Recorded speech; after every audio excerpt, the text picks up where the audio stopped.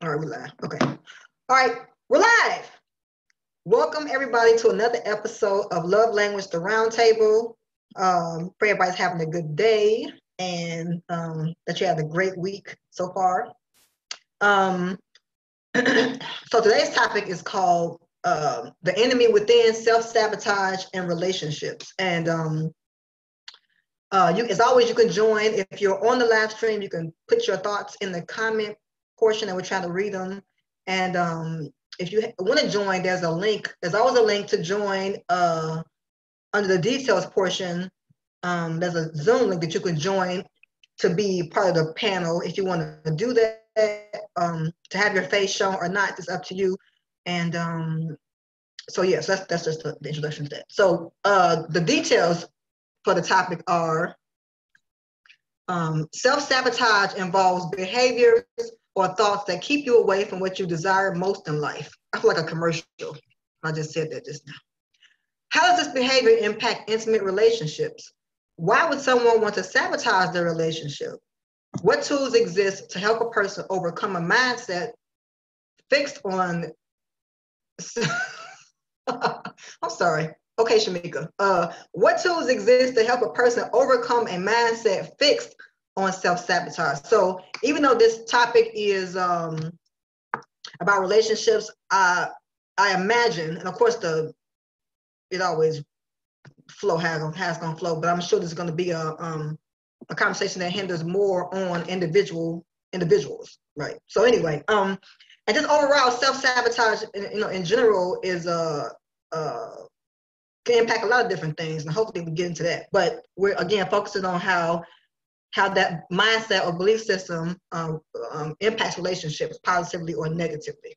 So, uh, as far as order, uh, oh God, this is always stressful. I want to go first, but because I'm, I always do this, the questions. I, I, I think I'm gonna go last because they're just whatever. Um, so I'm just gonna call it out, right? So, uh, Shema, Zebulon, Isaiah, Shamika, and then me as far as order. Shema, Zebulon, Isaiah, Shamika, and me. So any opening thoughts about the topic? Again, the topic is self-sabotage, the, the enemy within self-sabotage and relationships. So I'm going to mute. I thought you said you wanted to go first. I'll tell you about people. I can't anyway. go first because I'll be talking too much. I don't want to talk the whole time. You don't talk enough, but it's okay. I'm gonna go ahead and go first. Um, I'm just playing, by the way. Um, what do I want to say? You said self sabotage individually and relationship wise, I guess, right? As an opener. Or just um, about the topic, period, about about self sabotage and how it impacts relationships. Just any or anything about the topic, just in general. Yeah. yeah. I think that um, I believe that self sabotaging is huge in our uh, community, and um, I think it's really uh, happening uh, uh tremendously because of lack of uh, leadership. Now, when I say that, I want to say it is a lot of leaders out there. You know, I want to say that um, because you know Chief Zebulon correct me real quick. You know, that's fine. so I do understand that to be the case. So, but what we're seeing for those of us that are feeling like it's not really out there, I think a lot of time it's because we are loners. Uh, we're not um, within a cultural or not even cultural, just a, a structured, um, uh, lack of a better term, organization um, to where these leaders that uh, hopefully our righteous can uh, teach us how to um, not sabotage ourselves as much as we would if we're loners. A lot of times you're self sabotaging yourself because you're trying to do these things on your own. You're trying to figure it out on your own. And a lot of times it's not that you are um, doing it on purpose, it's because you have not been uh, uh, taught correctly how to avoid that. Uh, I am one person that went through that, you know, over my years. Um, so a lot of us are doing that. So as we're learning, as we're going, it's elongating that process versus if we had that structure, that leadership, that good righteous leadership, whether man and or woman, in our life to kind of help us speed up the process and uh, have more faith in, in, ourselves and the people that we're with because of knowing ourselves and knowing the people that we are involving ourselves with. Uh, and uh, when we have that sense of knowing ourselves and knowing where we're at, then it'll bring a, uh, that tunnel vision that we might be having of uh, whom we might be sabotaging ourselves with, or what we might be sabotaging ourselves with, just life in general, because of the teaching prior.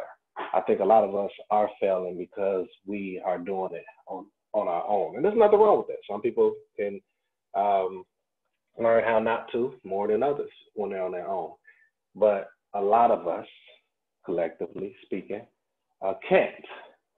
Uh, I was just talking to somebody earlier. Um, how many minutes I got left? That she said no. Oh, I didn't know that uh, we were going to be keeping track of the uh, the first portion, meaning that it was just the opening uh, yeah, statement or whatever. So. Yeah, man, come on, man, you you you are slipping up, Chief. Dang. Uh, okay, I'm gonna say this last part. Then I was talking to somebody earlier about um, the famous scripture in Bereshit when it says, "It is not good for man to be alone." We understand that the uh, context of that is talking about the man and woman, right? But I like to use the concept past that. A lot of times in scripture, some people teach that it's twofold meanings behind certain things. Uh, but I'm going to go ahead and teach that right now. That I believe that one is very twofold. E. I know I made up a word. Um, when you think of stop the face, Tamar. Uh, when you think of people like if you are somebody that goes by the uh, New Testament, you look at Joshua or Yahusha or Yeshua, you know, all the other names. Um, he didn't need the disciples, did he? According to what we uh, uh, know, he didn't need them, but he had them. And then he told them to be amongst each other after him. Why? Because you can learn from one another. You can build from one another. And if you're alone, it's harder to be successful. It's harder to be successful. So, last thing I'm going to say is I believe that a lot of self uh, uh, stems from lack of leadership in whatever subject that we're speaking of, whether it's life, you know, if you're a trucker, you're not going to be a trucker, and uh, if you can learn it on your own, but it'll be quicker and, and less self-sabotaging if you have someone that's been doing it for 30 years. So that's my point. And same thing with relationships, you know. So um, elders. So that's my point. and that was a long point. Thank you. Goodbye. I'm done. Bruh. Oh my. Um. oh my god. Yeah, Shema, you a mess, bro. Um. Uh, yeah, self sabotage. I I know all too well about it.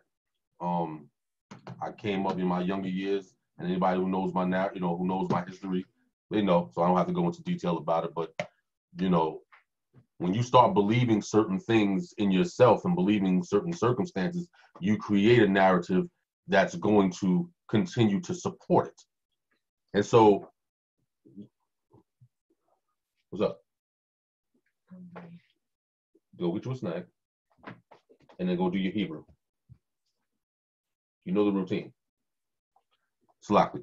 Um, so yeah, so when you're, you know, you create a narrative that's going to agree with your preconceived concepts about yourself, about your circumstances. And the the the, the interesting thing about self-sabotage is that very often in our in our journeys, we actually come across circumstances that could actually turn the tables on what we're going through. uh, you know, we come across circumstances that could create positive circumstances, positive outcomes. But the problem with that, it, it, it's, it's, it kind of goes back to that old saying of um, where they said familiarity breeds contempt. I say familiarity breeds content. We get we become very content in what we're familiar with. So if you are accustomed to misery, if you're accustomed to um, dysfunction,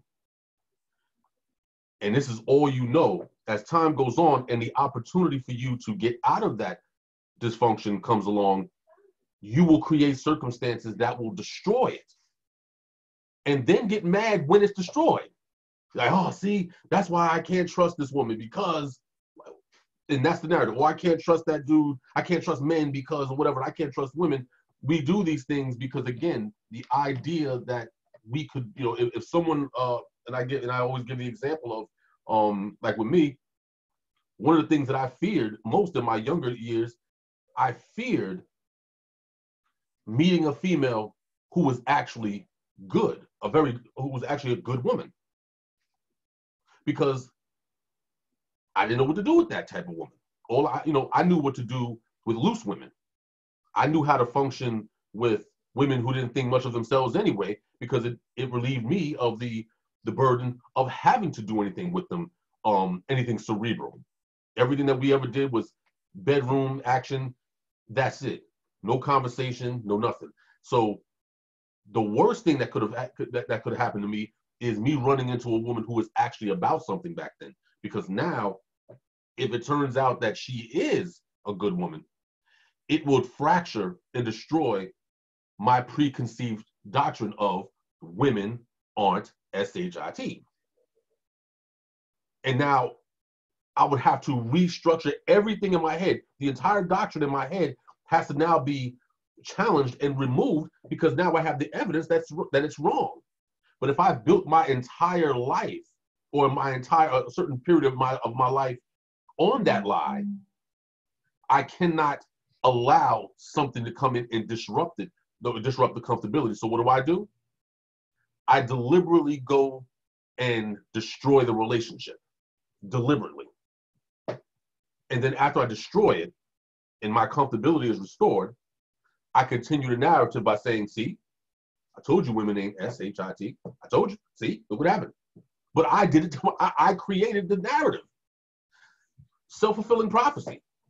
So um, so going forward in, in our you know in our discussion, of course, I always make the distinction between self-fulfilling prophecy and self-sabotage because self-fulfilling prophecy can be a good thing, um, depending on how you're angling it. Whereas self-sabotage is always uh, bad. And I think I just think that um, again, going forward, uh, and you know, and, and you know, kind of uncovering a few different things, um, I think we'll see that much of the um, um, much of the horror shows that um, that occur in our lives and our interactions with people has everything to do with self. It has everything to do with what we're putting out there, what we're doing, as opposed to what someone else is coming in doing against us. So with that, I'll uh, I'll yield.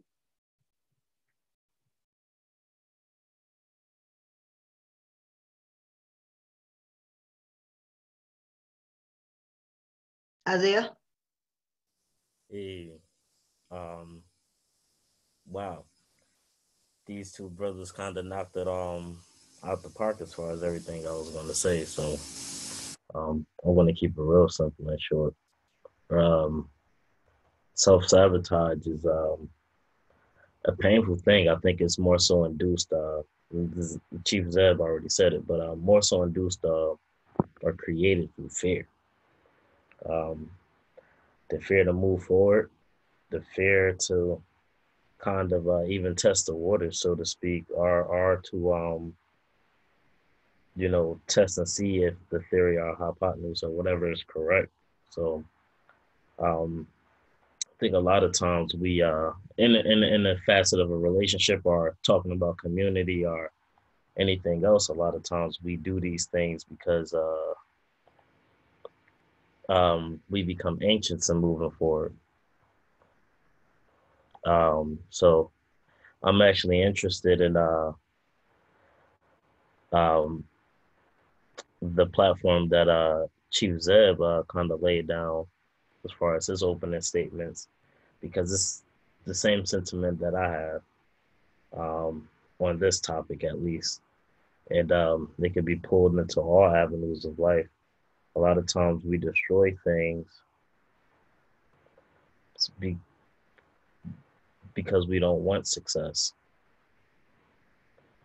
And um, I'm I'm looking forward to hear what these solutions are to uh, to uh, kind of changing that narrative and um, what are we going to do to uh, help people step on that limb and uh, choose to move forward um, and face their fears.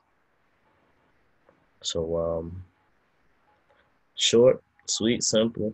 Uh, pass it on to the next uh, person. Okay. Um, I believe, or my my uh, stance is kind of what Chief was saying, or everything Chief was saying. But I just think um, self sabotage is one of those things. Uh, is one of those bags when people come with baggage. Is one of those bags because, um, in a weird way, um, for me, I think self sabotage is is um, a form of a person protecting themselves. Because depending on the, I know for me, because I've self sabotaged, um, depending on the person in their past and the things that they they come with, um, you you always think something is too good to be true, or um, you don't want to get too comfortable because you, you don't really trust anybody because anytime you probably have let your guard down, it's been an issue. So now you've built it up so much so that you can't trust anyone and I'd rather hurt me before you hurt me. So this is going this is how I'm protecting myself. This is how I'm going I'm going to end it before you do. Because you won't have one up on me type thing. So for me self-sabotage is it's, it's more of a protection thing. It's a weird form of protection, but it's a protection thing because it hurt less when you hurt yourself versus when somebody else hurt you. And I'll just yield there. Wait for the questions. Yeah, and I'm. That, that, I was gonna, yeah, I was gonna say that last statement that she made was insanely intriguing. That it's much, it's much. I'm paraphrasing. Much better to hurt yourself than to be hurt by someone else. Wow. That's heavy. Yeah, and it's interesting how we have these conversations. The you know the topics are um, for those of you who don't know, the topics are thought about in advance. Um, we try to like you know, and we encourage. So with so that's a quick little plug. We encourage all of you all. If you have any ideas on topics, share with us. We we try to do our job, do a good job of um, cycling it amongst ourselves, but we open, are welcome and open to any conversation, especially if it's uh if we haven't done it. If we've done it, then we probably won't do it again. But um anyway, just say that. Uh but but real quick, um a lot of thoughts is, is in my head about the topic. What I was gonna say was when I said, oh, it's interesting. Um, so Zebulon had mentioned, um, you know, Zebulon's my book, my book pusher. If if drugs, if we were selling drugs, he would be the one that would give me the no. Yeah, I got yeah, I got yeah, I got the Carter in the background. So yeah. so uh so he he suggested a book called Who Am I This Time, which was written in the 80s. And I, I read it and my middle son has read it and we both love it a lot. So that's a plug for that book. Again, it's called Who Am I This Time? But what's interesting about that is that it is thank you. It's called uh, Who Am I This Time? Is Jay Martin is the uh, author. It's called Uncovering the Fictive Personality. So um, I got mine off of Amazon. It's excellent book. Um, but it talks about the idea of fiction in general. And it was interesting that uh, for those of you who watch Breakfast Club, I'm a big Breakfast Club fan. But Will Smith and um, what's his face, Martin Lawrence was on there this past week talking about Bad Boys Two and Three, whatever, Bad Boys Three. And Will Smith uh, went this whole diatribe about uh, not diatribe, but I guess monologue because it's, it's, a proper word. Um, about how he has to be conscious of not being the Will Smith that everybody thinks he is. So the rapper and the actor, he has to remind himself that he ain't none of that. So he was he just talking about how he went through years of being that for the sake of everybody else. So um, I would like us to talk about that as well. Uh, but he really went into it, and just to sh- what Shamika said about it's better to hurt yourself than to, than to have somebody else hurt you. Like what? And then even Isaiah said, "What's the fear?" Like the fear obviously is a is um is a big a big part of of self sabotage. There's there's something that that we are trying to do to keep ourselves in our bubble. And I and again going back to what Shema said, which I thought was profound about the community. You know, is I'm a loner. It's easy for me to roll around as an individual because I've been doing it for so long. Even when I was married, I felt like I was by myself, right? And my family on my father's side is like that. It's smaller um, than my mom's side of the family, but everybody was always kind of air quote independent. I know we talked about the independent black woman, I think last week, but uh, so it's a similar thought. But real quick, I saw this thing earlier. I'm gonna read this and then I'm gonna be quiet. Uh, there's another woman on Facebook and she put up this quote and it said, or or a statement that says, some people aren't good at asking for help because they're so used to being the helper. Throughout their life, they've experienced an unbalanced give and take. So their instinct is usually, I'll figure it out on my own. The self-reliance is all they've ever known. And if we look at ourselves as a people, we have, you know, we always talk about trauma and um, which is real, that and it continues, but all that stuff I'm sure is a big um contributor to the idea that uh, you know, I'm gonna protect myself at all costs, me before everybody else. Um, and uh, and the last thing I, I am gonna say in my rant is that it reminds me of this song by Mali Music called "Walk on Water" that is talking about all of this that we're talking about, right? The idea of fear and standing on faith and what that entails. If you ever get a chance to listen to that song, listen to it slowly and peep the lyrics. And I think that'll um, just something just to keep the thoughts going about the topic. So uh, I know Shaul has joined us. I'm not sure if you want to say a few opening words, bro, but you can. I'm mute myself. Um, where we, where we, uh, where you got? Cause I kind of missed about about a good 14 minutes of it. Cause like every time we, most of the time we do the show, my signal be weak because I be in different parts of the country or whatever. And so um, I'm not sure what was shit. I came in on the tail end of uh, like like literally the last couple of words that Zebulon said, and then I heard you know Yashayahu speak and speak or whatever. So I, am not sure were you guys addressing the first question or we just this just the introduction or something. This is just the introduction on the title. The title is "The Enemy Within: Self Sabotage in Relationships." So any uh, initial thoughts before you get into the question? oh, okay. Um, well, I mean, just listening to uh, what uh, and uh, Shamika had to say about it, and what you had to say about it as well. Um, I think, you know, I didn't catch Zebulon, but I mean, you guys piggybacked off of him as well, so I, I know he said something fire. But um, self sabotage, I I understand. Um, I don't I don't want to. Uh, I don't want to come off as crass by saying what I'm gonna say, but self sabotage to me is is is a it is a uh, it's an enigma. It's it's a I look at it as a negative thing or or something that's though I do agree with what Shamika was saying as far as it's a way to protect yourself or whatever the case is. I do understand that that point, but that comes from not having a certain level or not being taught how to um, or put in a certain position, which is not necessarily a self thing.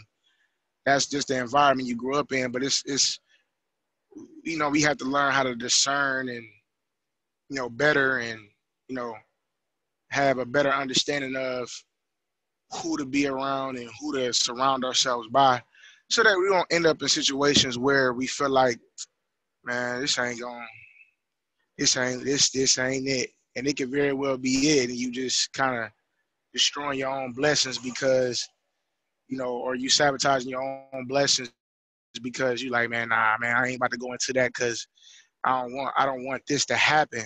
You know what i'm saying? To me.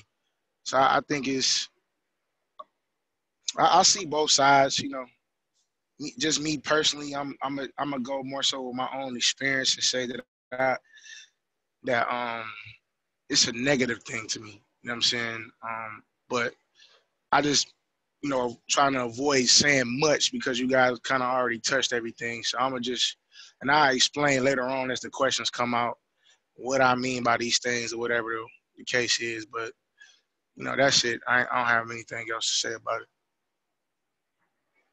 No, we appreciate that. We appreciate you always joining us. Um, uh, real quick before we get to the first question, uh, I was talking to my mother-in-law recently and uh, was telling her, you know, that I was like, I'm, I'm done. I'm, I'm over it. And she's like, you might, uh, she's like, she looked at me and she's like, man, you might be missing out on your blessing. So what you just said just now, Shaul, just reminded me of what she said to me. I think there's some truth to it, but um, we'll get to it. So the first question is, how does this behavior impact intimate relationships? I'm gonna put it in the chat box as well on Zoom, but again, how does this behavior that is self-sabotage impact intimate relationships?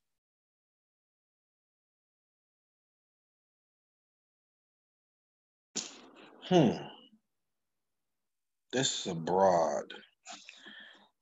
These are this is one of those questions where man, you can like spend, spend a whole hour but I'm gonna try to condense it in seven minutes. You're welcome. The, the, the questions are always supposed to meant to to spark conversation, but you're welcome. Oh my goodness. How does this behavior impact intimate relationships? I think I could keep this one short and sweet, be honest with you. Um it impacts it negatively, in my opinion. Um when you think of self sabotaging, like Shaul was bringing out, it really is just straight negative. It's no progress um, involved in it. Um,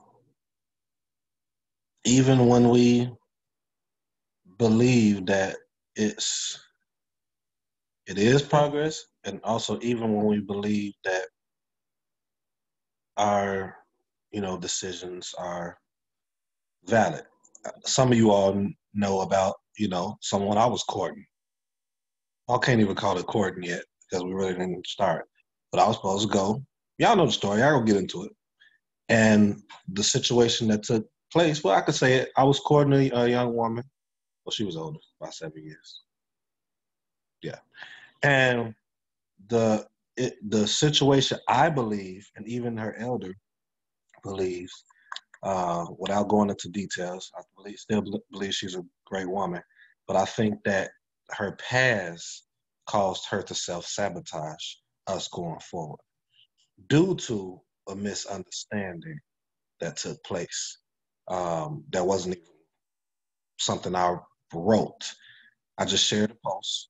You know, you know, I'm transparent with y'all. Shared a post, and the post actually, if really looked at and dissected, was to bring a different perspective for both man and woman, although it was geared a little more towards the woman uh, in regards to ethnic, ethnic, ethnicity or ethnic comparison uh, in leadership and amongst other things. But what I'm trying to say is that misunderstanding could have been uh, dealt with in really, really a little while you know, a conversation. And uh, I think that a lot of times within self sabotaging and in affecting the relationship, I think it's a lot of um, pride and uh, what's the word I'm looking for, y'all? Um, selfishness involved with it. I'm gonna tell you why because you can have a person that's consistent. And you agree with the consistency, but due to like like what Shamika and what Tamara was bringing out, um, maybe past things that took place, it will cause you to be selfish in that manner and only geared towards your side of it without looking at the full picture and it causes you to self sabotage. I know I just into it was real slow me delivering that, but I'm trying to get give an idea because she went through a lot. The woman went through a lot, and she knew as well as some of y'all that know me personally that I'm not this type of dude. You know what I'm saying? But since that post was shared with no um, with no caption that was shared by a woman actually that was posted by a woman that just caused a boom. Cut it short. Cut it off. And now you got the person looking like whoa. The only reason i'm bringing this up because i just had this conversation before the show. So it was kind of actually interesting that we just brought this up. I think the self self-sabotage and long story short it can affect the relationship because it's not you're not giving the the chance of this relationship that you once believed in and you you thought highly and greatly of and it can take will be one small thing that can cause it to cause you to just move it out the way. And that's what happened with her. Uh, i'm not blaming her for i think it was you know i think that we allow we we some of us uh, come to a point where we i mean we're human i get it we're human but I think if we're going to push forward with this uh, walk and we're going to try to put the walk in place, then I think that the conversation should be there. You know, I think that the the the, the balance should be there. You know, and that's what took place with me. I was just trying to give y'all a uh, give you all a, um, a um, I don't know why I'm so lost right now, y'all. I'm normally not like this. I don't get it, but you know, something that took place with me but it's something that I see a lot in uh, our community and something I see in our people. We're so instant gratification versus um, really going going through the, the, what might be the issues.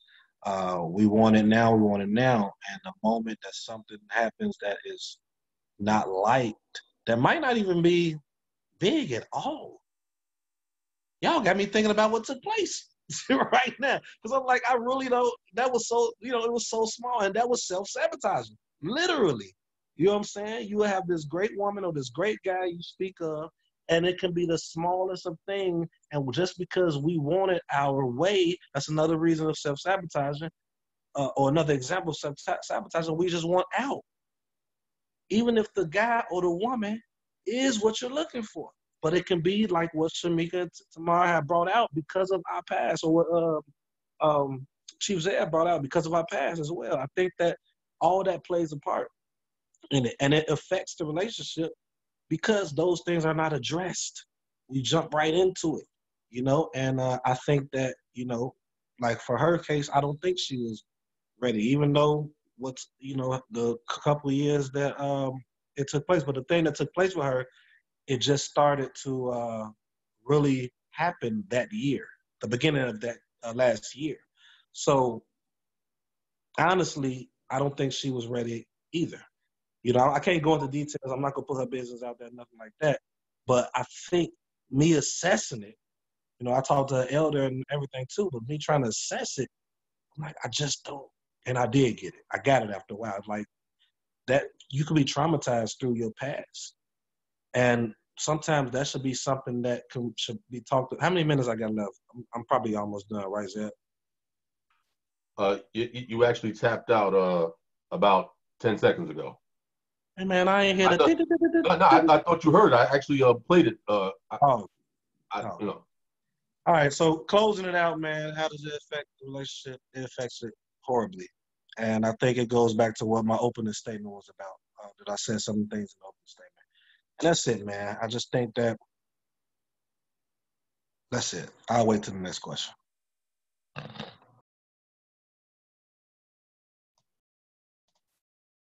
I believe I'm next, correct? Uh, no. I thought I was. But Zebulon. Zebulon. You're next, Zeb. Chief Zeb. I'm sorry. I'm, no, I'm i mean, if you want, I mean, if you want to shoot, you know, you want to shoot your shot. No, I, I can I can wait. I can wait because I, I probably have a lot to say. So I'm, I'm just gonna. You probably gonna hit it already, but uh, it's cool. Oh, probably not. But um, but not, uh, nonetheless, I you know listening you know listening to everybody, I I was thinking about an earlier example that I gave. This might have been like last year. I, I think I gave the example. This is one of the, our earlier shows um when we were still um in audio land. Um, what was it called? Um, uh, Blog Talk, I believe it was. But um, you know, and I use the example of uh, of Minister Louis Farrakhan, in that uh, him knowing that he's Israel. You know, you see it all the time. Yes, the you know, yes, the so-called Negro, the Black Americans, we are the Israelites of the Bible. You know, in the in that whole narrative, whatever that whole narrative that he pushes, and it's like, okay, no doubt, and he's known this for decades. Um, his wife was actually uh learned and was a student under Ben Ammi, Ben Israel. So clearly he has no problem with you know with the concept.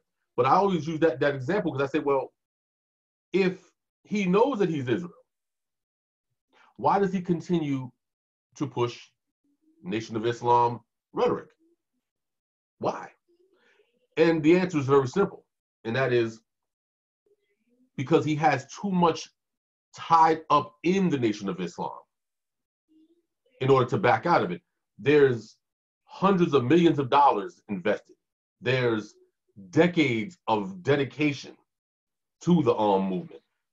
There's millions of followers who've built their entire lives and their lives of their children and the lives of their children's children on this particular understanding. He knows this. As a leader, he's a very intelligent man. So he knows this. He realizes that it would probably be more damaging to come out and say, hey, we were wrong. The truth is, we need to get back to this Torah or whatever. He may lose his entire flock because the, the, the cognitive dissonance that would set in would just rupture everybody. So everybody would just die of aneurysms. They, they would, their head would just explode. Um, because again, all of the years and the decades and the money, everything that's been invested in this understanding, you can imagine the, you know, saying the fallout of that. And I use that example um, you know, in reference to this, that you know, how does this type of behavior, uh, the behavior of self-sabotaging, impact intimate relationships? Is again, it's the comfortability. When you're comfortable in a certain mode of movement, a certain mode of thinking, no matter what the circumstance, no matter how good the person, and this is not just relation, uh, marriage scenarios. This could be friendships. This could be uh, employment. No matter how good the situation is, you'll find a reason to remain in the same mode of thinking because there's com- because you know there's com- there's more comfortability in dysfunction um than trying to discover happiness because happiness is an unknown territory for a lot of us so territory you know so happiness is a strange it, it, it's, it's a strange bedfellow we don't really know what to expect with that but we do know misery and because we know misery, whatever, and, I, and I'm you know speaking from ex- experience, when you know misery, you languish in it because this is where you're comfortable at. You're like, you know what? I know this is horrible. I know I. It's like drinking Pepsi. I know I shouldn't be drinking this. This is the damn devil. I know it. However, I got these chips. I got this hero over here. I'm gonna knock this down. But I know it's toxic. But why? Because I was raised drinking Pepsi. I don't, and that's what we do. So the, and what this ends up doing is it destroys every relationship, every interaction that we have. It destroys it along our way. We become male and female versions of black widow spiders. We just have no, we have no choice but to destroy what comes our way. Like Shema said, not necessarily because we want to, but because it's the only thing I know. I know destruction. Building, I'm not too familiar with building. Building up, eh, I don't know about all that. You know, that's that can go either way. But I do know destruction, and I know and I know it well. So let me go do that. Let me go destroy this friendship. Let me go destroy this employment situation. I know this is a good job, but you know what? Ah, I'm just not going to show up for work today.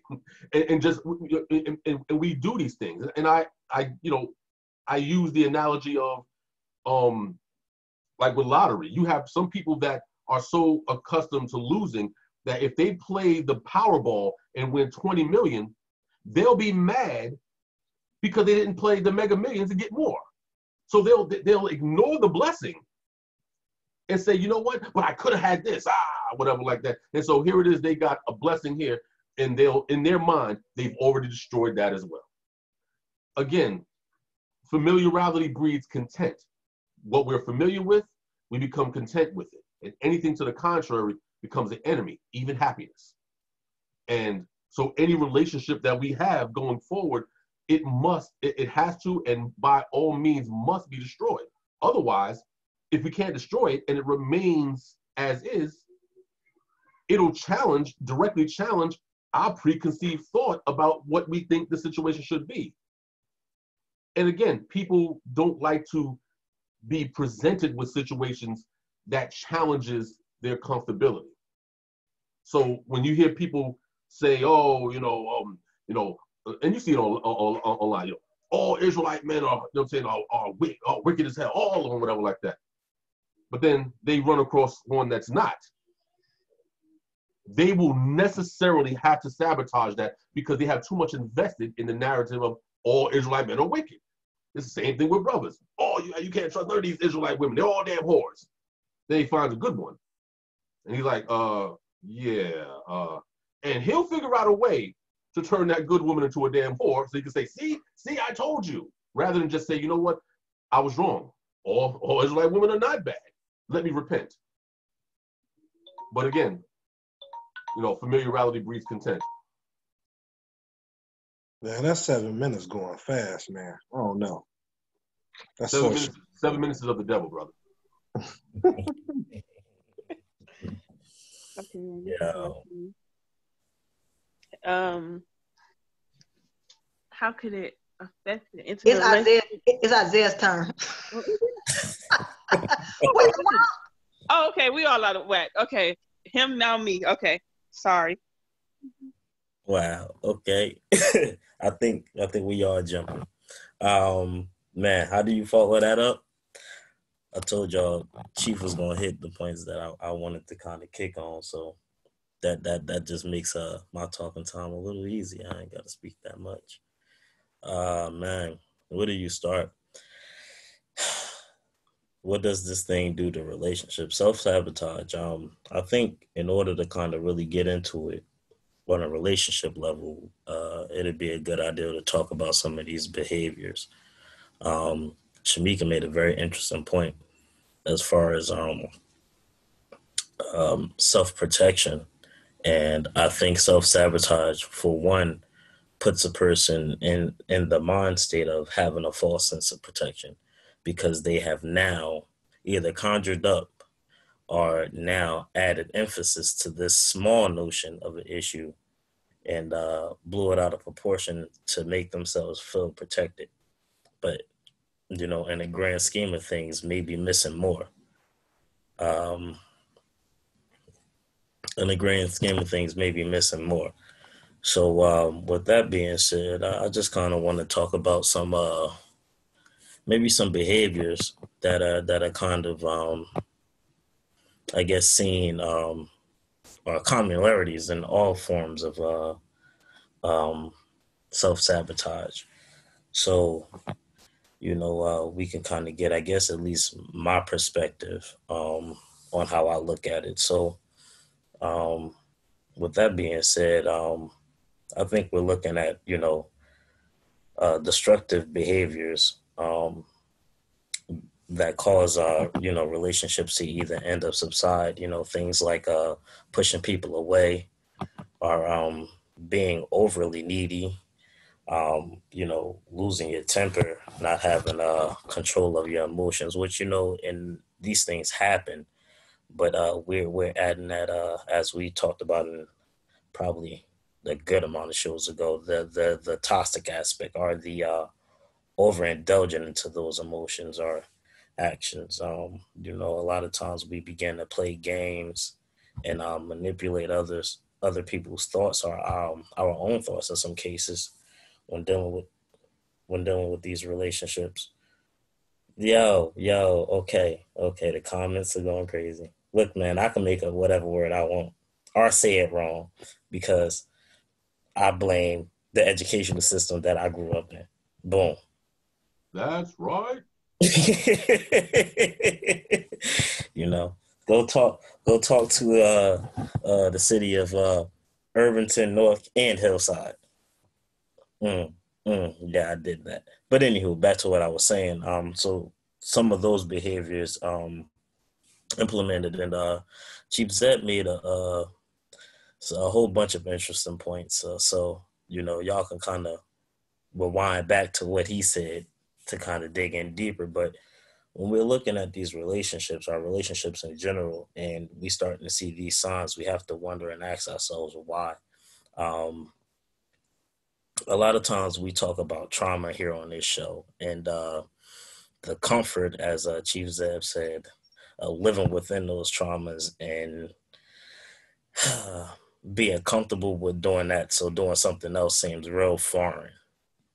And um, we can take this walk or this our, our, our most of our aspects of this walk as far as understand as far as understanding the Bible and whatnot and and look at that. Um, Chief Zeb at the end of his thing said uh, repentance and um, to repent, it has to it has to come with um, a leaping out on, dare I say, faith, or a pushing yourself out there to say I was wrong, and sometimes that's not easily done.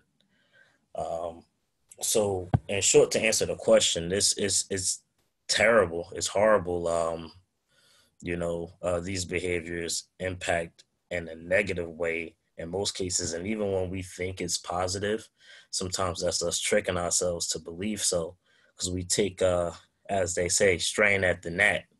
You know, we're looking at so smaller issues are issues that can easily be overcome if a thought is applied or if uh, working together is implied.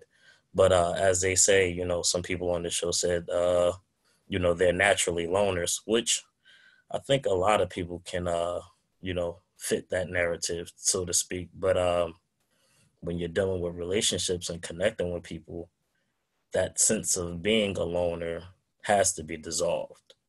And uh, when it's not, we, we, we, we, it can lead to some negative uh, situations and behaviors.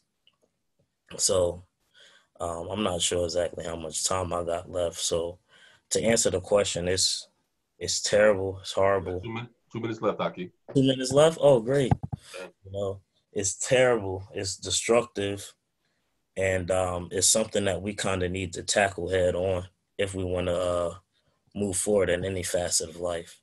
Saying that uh, we want to unify, be together in relationships, friendships, loving friendships, um, whatever have you, intimacy, those type of things um, has to be dissolved because it's easy to say, "Hey, I rock alone," but once you become in a relationship with someone to whatever degree it is, even business relationships, it's not it's not you operating alone anymore. We have to uh, remove the selfishness out of it, and that's kind of what you know the root of uh, self sabotage is. It's the focus on self, and any form of a relationship which expresses uh, multiples you kind of can't look at self first in some aspects. You know, we're not saying, you know, lose um, your self identity or lose um, love for self. But if it's only love for self, it, it it's not going to succeed. And uh, that just breeds for more negativity. So I'm going to yield there and let um, Shamika go next because uh, she was wanting to go next before I went went at all. So, boom. No, I'm just joking. I'm done. Okay, that's so not true. I just got a little screwed up. But um, hey, young lady. Cut. Okay, I got to leave. So, um, I'm with uh Shema. Shema's uh, overall answer was it's terrible, it's horrible. And that's what it is because the word sabotage in itself is not positive. So, um, what I think, Judea, quiet. What I think is, um, I'm big on cause and effect. So, you being the person that's self sabotaging, um, could affect the other person in a horrible way. Like uh, Chief was saying about one of his fears was meeting a good woman.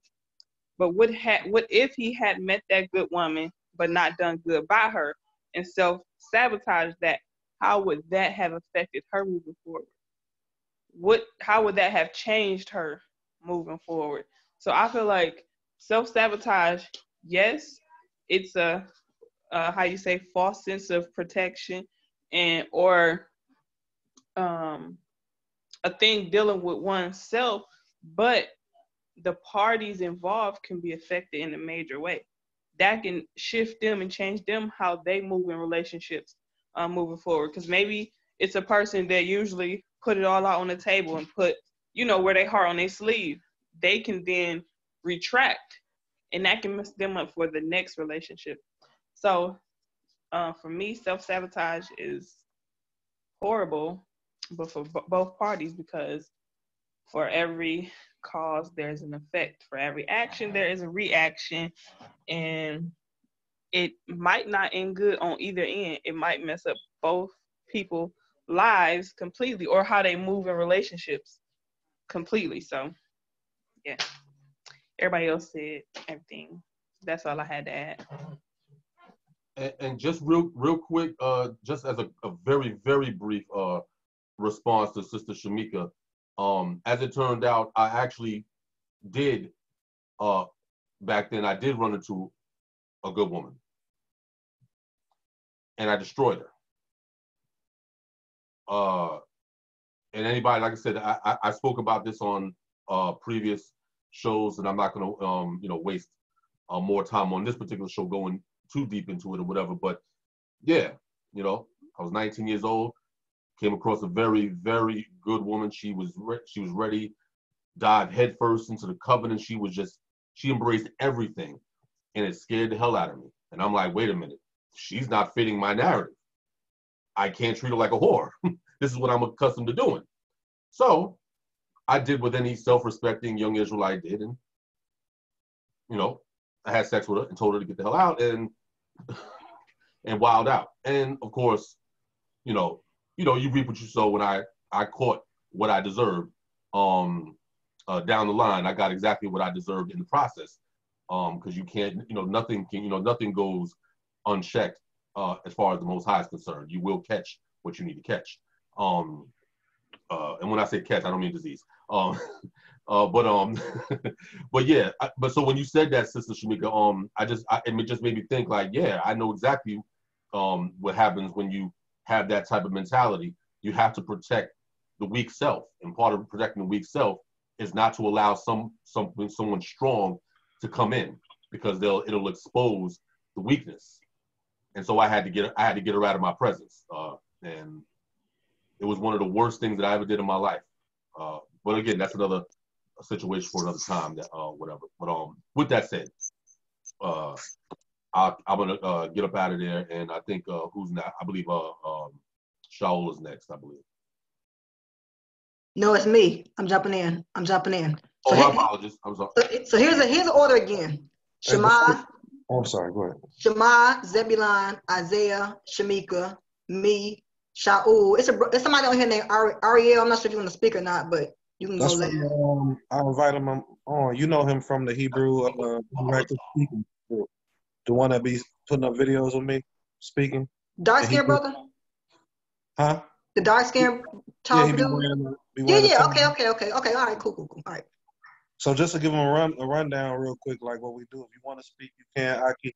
We take turns. You get seven minutes to answer uh, the question or ask the question or comment, whatever. So you'll see the how it goes after the next person, I'm sure. And if you want to jump in uh, with the conversation, you can, or you could just listen this time around if you want to. It's up to you.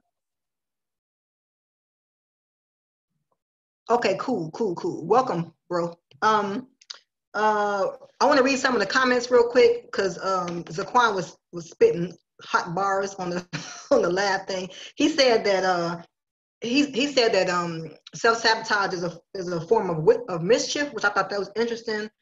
Uh, then he said self sabotage is linked to stress and a lack of confidence. Then he went on to say, so if one can't control their partner because of their confidence or faith, self-sabotaging will then suffice. Seems controlling, selfish, and mischievous. So that word mischief um, caught my attention, probably because so's a mischief. No? I Anyway. definitely agree with that. 93 till. Hey, hey now. Uh, okay. Um, oh, and then also want to read what Patricia wrote in a, on a different post. Um, she said, past hurt and not understanding the why of the sabotaging behavior. One tool that can be used is to try and find out why and being willing to accept that you may be the problem and that you may need to change your toxic behavior. A lot of times we don't want to admit that we need to change. We oftentimes use the excuse, well, this is who I am. And if you can't deal with it, that's your problem.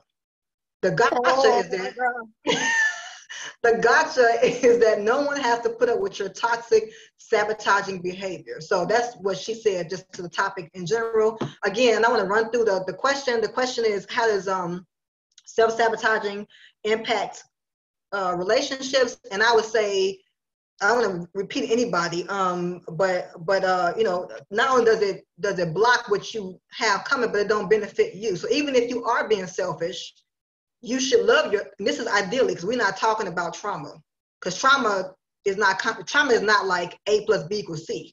Trauma is like A plus B times five, and it's a whole complex narrative. So we're not talking about individuals who are self-actualized. They understand that, like Shamika said, you know, you put forth energy, it's gonna come back to you. We can read it in a book. The books say that, but we don't necessarily believe because we wouldn't behave the way we behave, and then be shocked when the outcome is what it is, right? So, um, so it's so definitely it impacts. It, it, it deters you from getting what you actually want and desire. And I can testify to that, right? So I'm to the point now where I don't even want to, I told y'all, like, I don't give no F's about nothing when it comes to me. And that's just me being honest because I'm tired. I'm 41 years old. I'm tired. I don't want to keep playing games, right?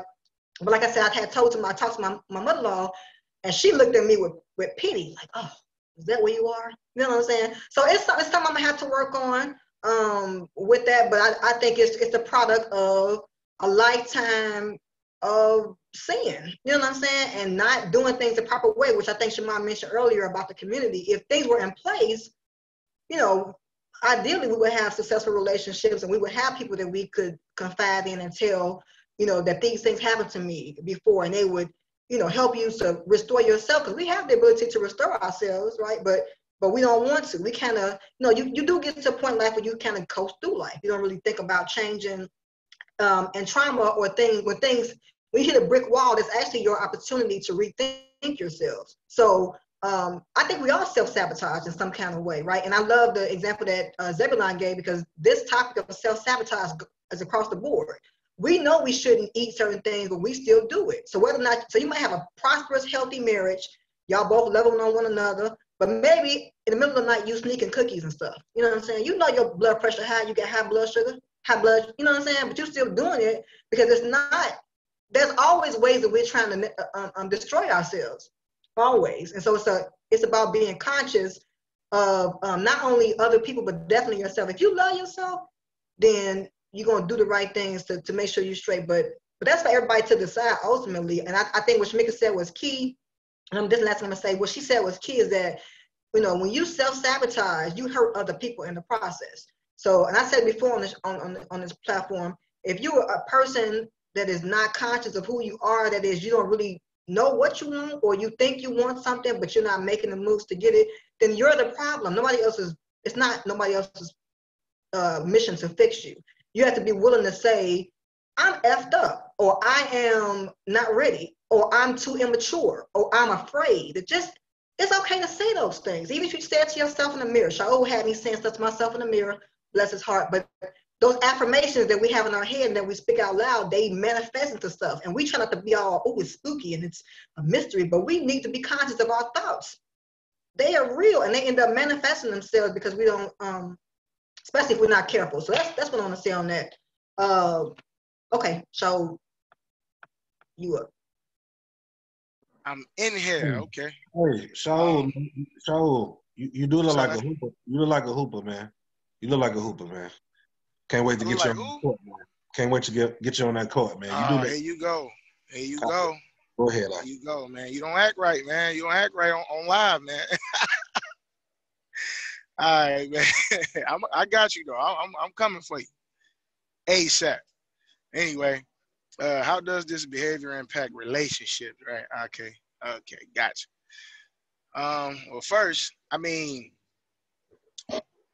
sabotage is a verb and a noun, but the verb portion of sabotage is like uh deliberately destroy like or damage or destruct. So if anybody thinking that that's a good thing you know not saying that anyone has to this point said that it was but some people may think that uh it's okay and it's not. But what i would say is this um I, I, a point that uh that uh Tamara made about about you know we all do it in some ways and you know um things like um you know what Shamika said as far as you know we hurt other people and things like that. And that's true. And that's why I would say that um being uh, uh having a honest mindset. Because you know everybody you know this, you know being real has been trendy amongst our people for the ever since I can remember. It's like everybody walk around like I'm real, like I'm this and I'm that, and you know what I'm saying.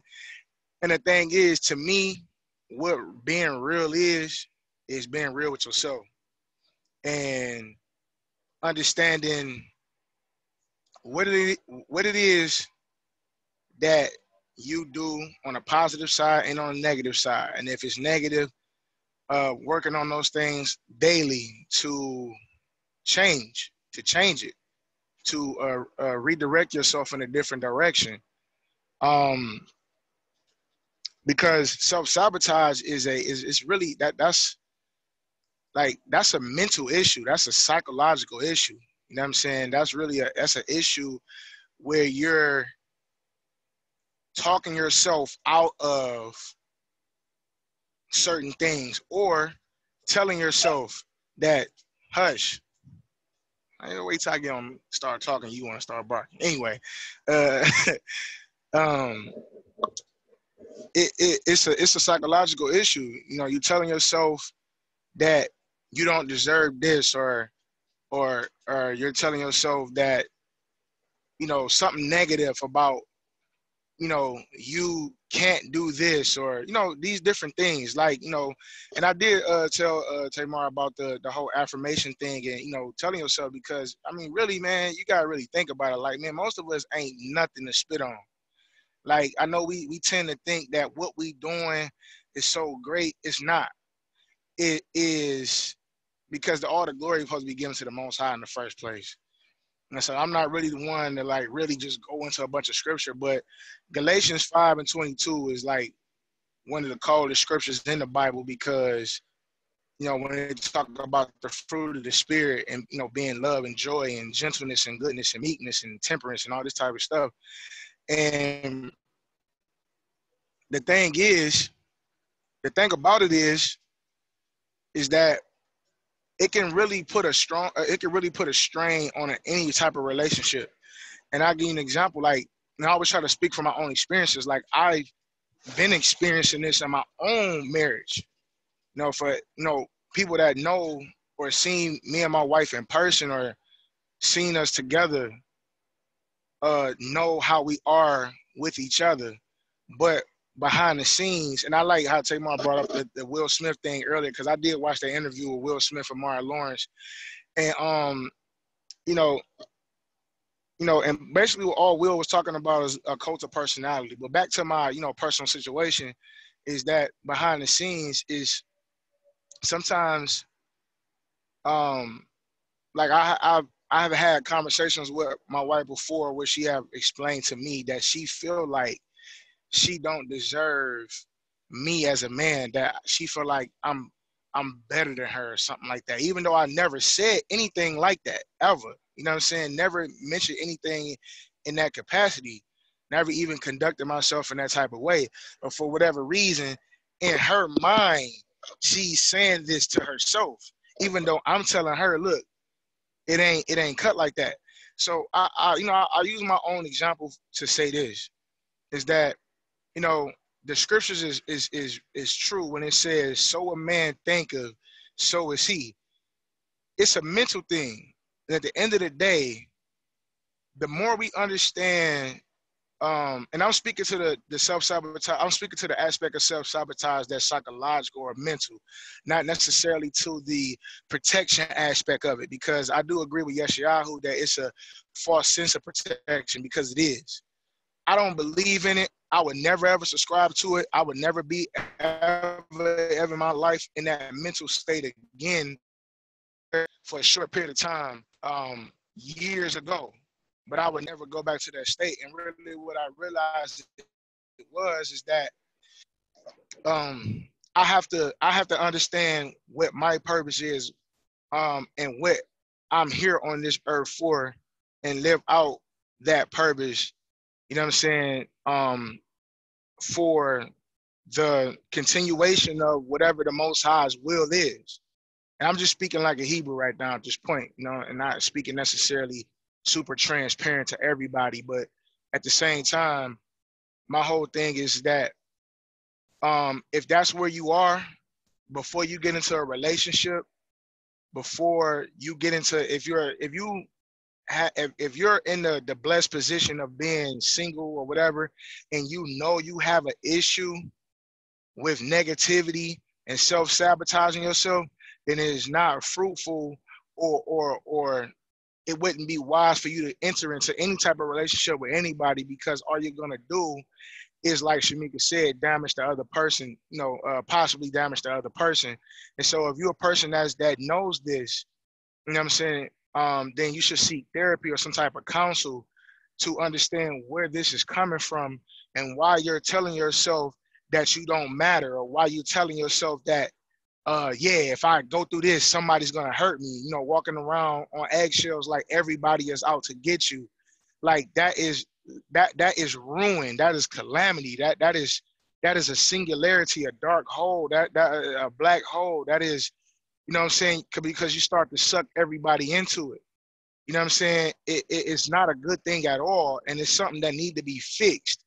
And it should start off by telling yourself talking to yourself um, about your flaws, talking to yourself about what your negative uh, thoughts are. And so that was basically it on what I got to say on it. And start telling yourself that you do deserve things, deserve positivity. And then you will start reaping those benefits. You know, you start reaping, you, plant the seed in your mind, you'll start reaping the positive nature of where that comes from. And you will never ever be in that position again and no one else can come in and take that away from you or ever hurt you again because you know what to look for moving forward and that's where the foundation of discernment and understanding of other people comes from in my opinion but you know that's it shalom oh can i say something real quick Hey, go ahead. Oh, was about to go ahead.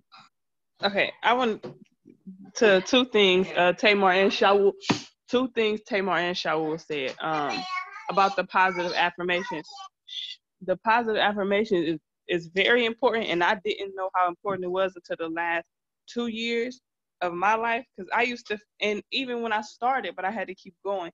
I felt so weird saying kind things to myself or like, you know, building myself up because I, I'm one who um always hard on myself or tear myself down.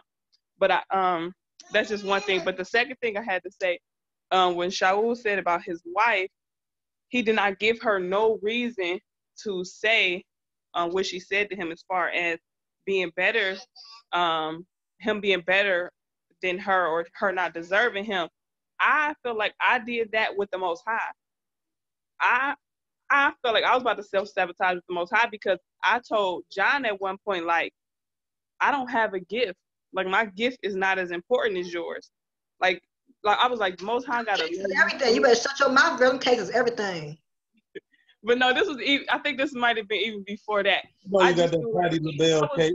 cake I, but I didn't see how that was serving the Most High.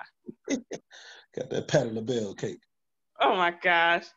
But I, I just didn't see how that was serving the Most High. My thing was I needed a gift that was directly serving the Most High, and I felt like His gift was directly saving people or directly like helping somebody. And the Most High was like smiling upon that. And I used to be like, I mean, you got this, you got that. I ain't got this, I ain't got that. I was self sabotaging not even recognizing what I can do with my gift to help or to, you know, gear toward anything towards the most high. That's where begging for the homeless and um, trying to do pork free things came in for me. I had to find something in myself to feel like I was pleasing to the most high because I felt like only my husband was pleasing. And I felt like that was self sabotage. Hey, you know what, man? I just want to say this real quick. Uh, because that's a great point that you brought up about that. And you know, I, just real quick, I want to say that if these these things come from a come from pride, you know what I'm saying? When you feel like, you know, and I'm glad Shamika brought that up about John Boy. She felt like she didn't have nothing to give to the world and he had something he was giving to the world that was impacting someone else. And the thing is, is that that's never true that someone is impacting someone else more than you are if you're a person that's doing something. And the reason why is that you never know who you're impacting and what it's doing to them. It may not be 10,000 people. It may not be a million people. It may just be your children. It may just be your husband. It may just be your mother or your father or whoever. Man, that's that's good word. You know what I'm saying?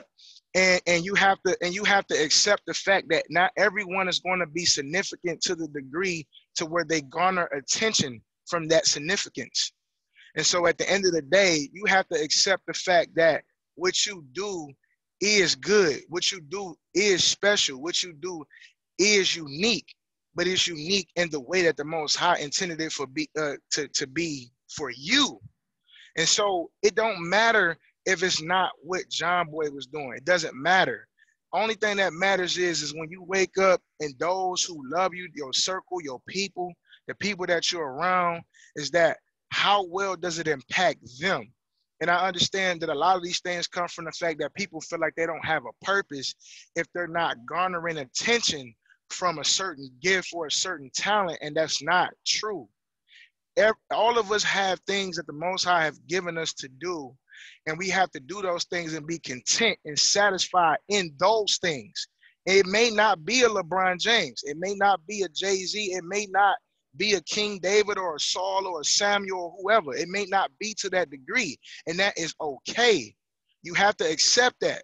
You can't be walking around telling yourself that you're not anything because you're not David or or Christ or or someone that you feel like is more significant because that's not what life is about. Life is about impacting those who are impacted by what you bring and you have to understand that and that may very well just be your son or your daughter or your mom. And that's fine. Accept that and be content and love that. I just wanted to say that. Amen. I want to say something. I want to say something, y'all.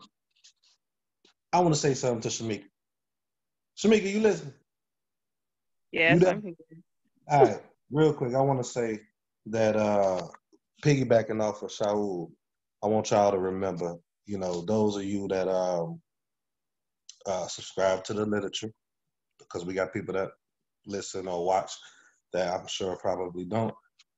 Um, you contribute in, your everyday life just by, you know, keeping the commandments of the Most High because that's wisdom to the nations. Remember, that's what I believe, if I'm not mistaken, Devarim, Deuteronomy speaks of. Then also, when you go to the New Testament, I do believe, if I'm not mistaken, I might be a little rusty, uh, talks about that the uh, angels rejoice at bringing one in right? A thousand angels, something like that, versus a thousand, or something like that. I gotta, I gotta get back, you know, refresh myself.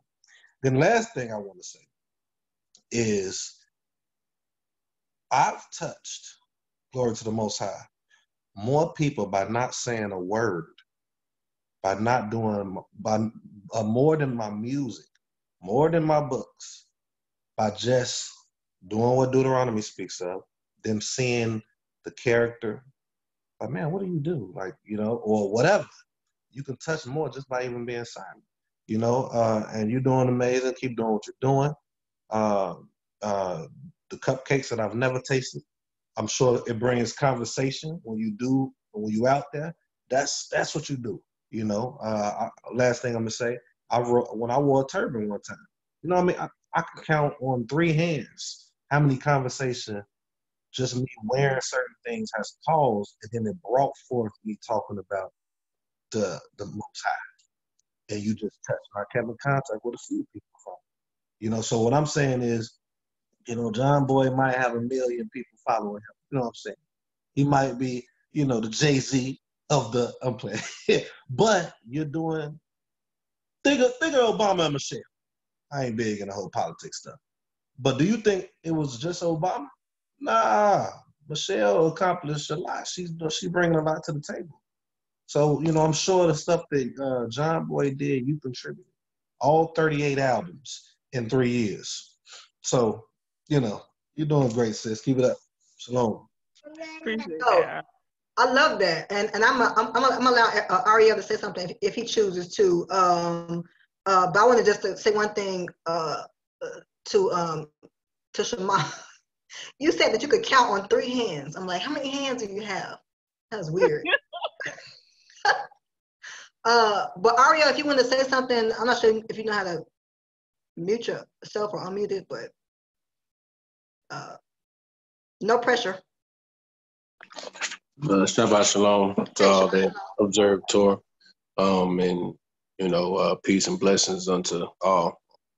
Um, I don't have much to say. First time on here. Uh, Shama invited me most recently. I'm sure I got invites before that, but um, I definitely love what y'all doing here. You know, um, it just sounds like positivity going around, and that's what we need the most of.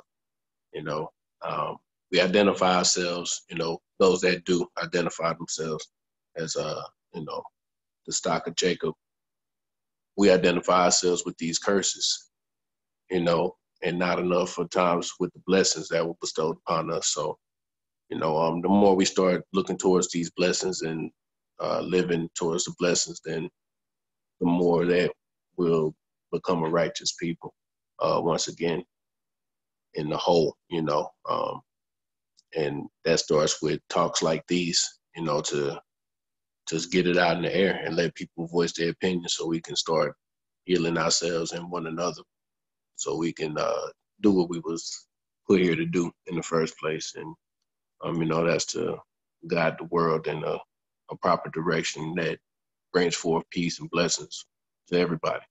You know, so um, that was it. You know, um, I'm sure I'll be tuning in more often because uh, this is very lovely. So uh, peace be upon you all, and um, may the Most High's name be glorified in all that we do. Hallelujah. That's right. Bring it out. Hallelujah. Yeah, yeah. Thank you, bro, again for uh, for joining. We here every Shabbat, most high willing, and you know you're welcome to always jump on or or not.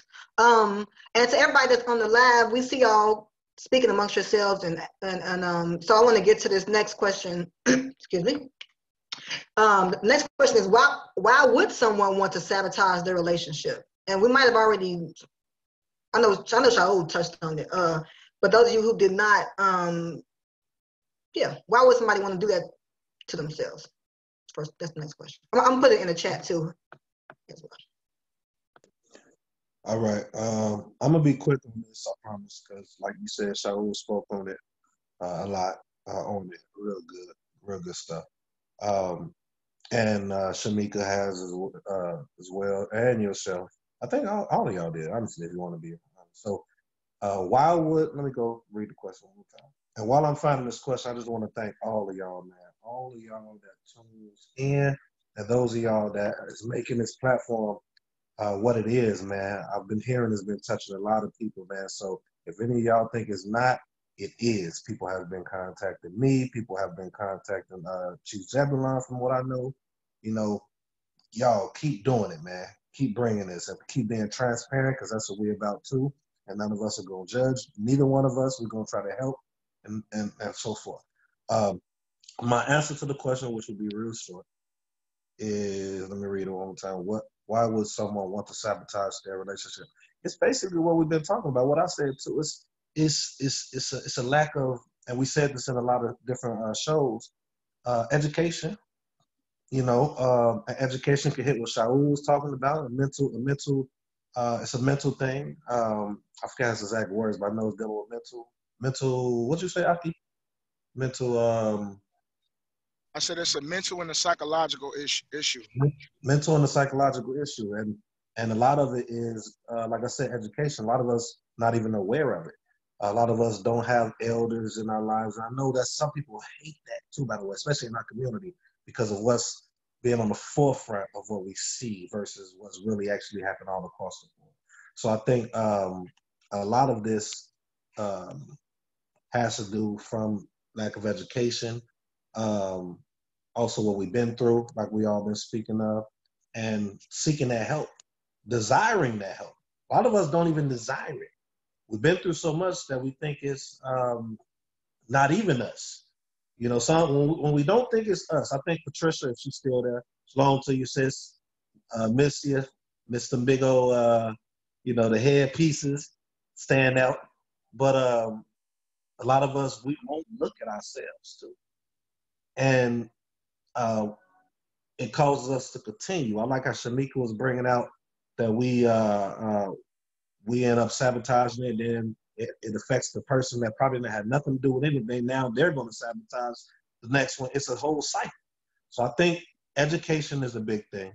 I think dealing with our past traumas, like Tamar and Shaul's bringing out, and and that that's it. That's that. Those are the major things to me. And you know, having the foundation of of of culture, and I, I like to say the Torah or the Tanakh, you know, the Most High.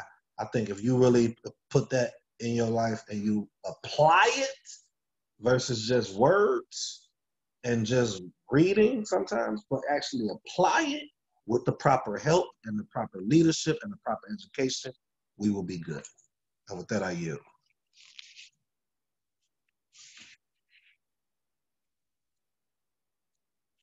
Stuff. Um, I think. Um, oh wait minute. Let me reset. Um, I think a lot of people. Um, and when I say a lot, of course, again, I'm, I'm, you know, really just a certain portion of the population. I don't want to make it seem like it's the majority, um, but a significant uh, portion of the pop, you know, population amongst our people. Um, I think there's a certain, as far as why they want to sabotage their relationship. It kind of goes back to what we. I mean, we already said it, so I'm not going to go uh, too much um, back into it. But because this is all they know, they it, when, when you know and understand destruction, you become proficient at it. You, you, if you ever see construction, you know, construction building or construction sites where a building has to be demolished, the team that comes in to you know to demolish the building, uh, that's pretty much all their skill set. They, you never see these same guys at a construction site to build, because that's not what they do. Their thing is to bring in the wrecking ball and smash this thing to bits. If you ask them, hey, listen, can you build a second story on this house? I, I don't know. they can't because that's not where their skill set is. Their skill set is in destruction. And so it's almost like they have no choice but to destroy that which you know which they come across. Um, but again, going you know, being that we already covered that that aspect, I just wanted to just say briefly that um that when you look at relationships, um, a lot you know there's there's even people in my own family who they um like I have female females in my family who will tell you with a straight face and a clear conscience that they are men eaters. Um, that they're in hey, and they, they're very clear on it. That then they take pride in the fact of of you know chewing up men and spitting them out, um, which is ironic because uh, you know anyway. But you, you know, and, and, you look at these you, you look at these type of scenarios and you're like, how can they? But then you realize that oh no, the reason why they feel this way because again, they've never seen anything to the contrary. They haven't seen anything to the contrary. They've never seen successful um, relationships. So they can only they can only feed off of that which they see. Um, there's an old saying by um uh, uh um Elder Masha, um, the original leader of um ISUPK in the early 80s, he taught that when there is no righteousness, it's evil that you're attracted to. And and and, and, the, and the, the, the logic behind that that that particular anecdote was that when you so when you're surrounded by wickedness and evil, it's the only thing that's available for you to extract your experiences from. There is nothing else. So if you see nothing but negativity, degradation, dysfunction all around you, and that's everything that you see, you're going to, especially from a young age, you're going to assume that this is essentially what life is. Now, let me get in where I fit in. Let me take my portion in the destruction and play my role, uh, you know I'm saying, uh, to the fullest. But when you surround yourself with that which is righteous and surround yourself with that, you know, with, with people who are um who are optimistic in their orientation, this begins to change how you move forward, how you interact with people, because you're seeing the other side of the um, you're seeing the other side of the discussion. So when people destroy um, when they when they're destroying their relationships, again, like we and I think all of us have covered this um throughout the show, that we're doing it because we have nothing else to offer. If I could offer you function, I'd give it to you. but I don't have I don't I, I don't have that information. What I have is let me punch your face through the wall. Or let me go cheat on you. Or let me go do this and whatever. That's what I know. And so because I know that and I'm proficient at these things, let me show you how I go in on it. And so, like Shema said, a lot of it, it has to do with education. If you don't know any better, you can't do any better. Quiet. If you don't know any better, you can't do any better. And in my teenage years, because I grew up in dysfunction. I grew up, I grew up in a, in a heavily dysfunctional family, heavily. You know what I'm saying? The women, all promiscuous, wilding. The men, drug dealers. That's the only narrative that I saw growing up. And it wasn't until I came across Camp Yakar with Chief of Chiefs Naftali, bless, Most High bless his memory, Chief Prince of Chief Amos, bless his memory. When I came across these individuals and they gave me you know, I'm saying a narrative of, uh, you know, I'm saying of holy, righteous Israelite activity and movements. That's when I got. That's the other narrative that that's going to go to war with the old narrative. And it took some years for me to sort of like Jacob's wrestling, where I had to, you know, the old self is like, nah, yo, you can't, you don't love these hoes, whatever, like that. And the other side is like, no, no, of course you don't love hoes. We don't deal with hoes. We deal with righteous women. We deal with Torah women. And that and so there's a constant clash, and you grow out of it. Eventually, you're able to reconcile a lot of this. But most of us never do. Most of us, because we become so comfortable in the dysfunction, the dysfunction because becomes function. And functionality becomes insanity. So when you see people who are bringing functionality, who are bringing righteousness to relationships or whatever, it scares the hell out of us.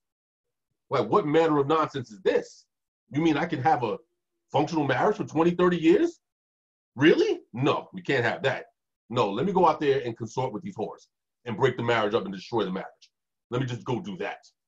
So I so again, just the um, because you know I'm down to 40 seconds, but um, but I think that's what a lot of us are doing. A lot of us are doing the things that we have rendered to be comfortable um, with ourselves, and we know and what we have been taught, and we have not been able um, to get out of it.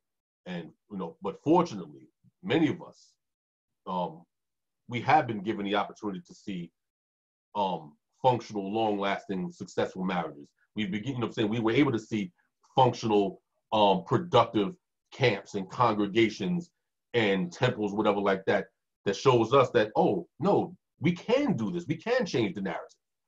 Um, but until then, we'll continue to destroy what we come across because, again, like I said, it's all we know, or it's all that some of us know.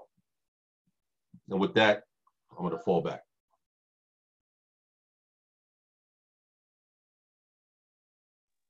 Uh,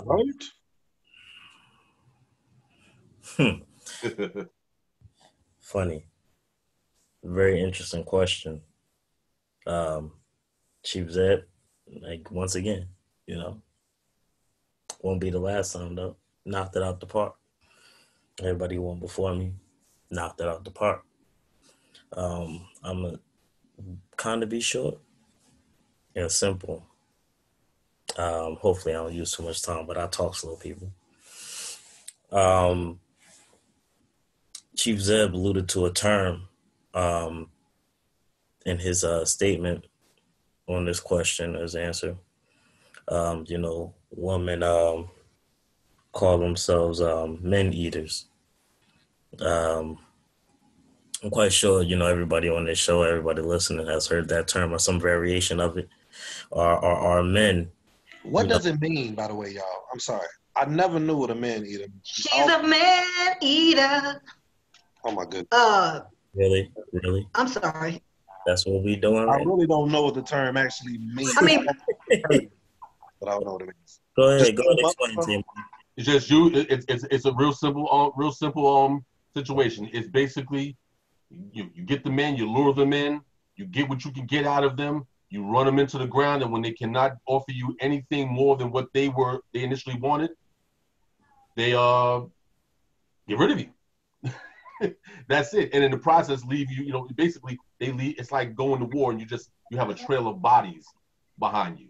Their whole their whole function is to get what they have to get, and in the process, destroy you and leave you with nothing, um, on all levels. And growing up, Now that's a man's that's a man's point of view. I would love to hear this woman right here tell me what do women believe man eater is. Tomorrow, I'm not saying that's what you are. I'm Yeah. saying I know we, we, think it. Some women say they'll say something different than what uh Zeb says. So I want to see what a because I heard women say it. So I want to know what a woman what, what's a man eater to a woman. But good stuff, Zeb. I didn't mean to cut you off, but yeah. no, actually, I cut you off. So touche. yeah, I, I, I don't want to cut off Isaiah when he's in the middle of talking, but real quick, I mean, I don't know 'cause I'm not a man either.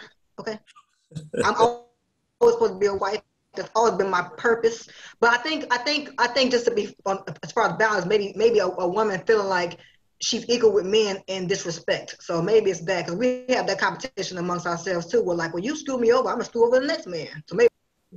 That's exactly it. Because my cousin told me at one point that um, she's not going to get serious with a male because she's going to do Mhm. guys for, for keeping it, you know, PG. She's going to do guys how guys do females. So that's that's what it is. Yeah, all of those are right. For uh for for Shema and, and those who who who not so sure of the term, um, are men saying you know they about to catch these bodies out here, you know what I mean? Or or um, what's the old school term my grandmama used to say? Womanizers and and and menizers, um, you know. But anywho, um, you know, it's a it's a it's a it's a term of endearment in some cases. You know, people people love these things, and uh, while everybody was sitting here talking, and you know, the question of why comes out, and um, the easy answer is because they want to.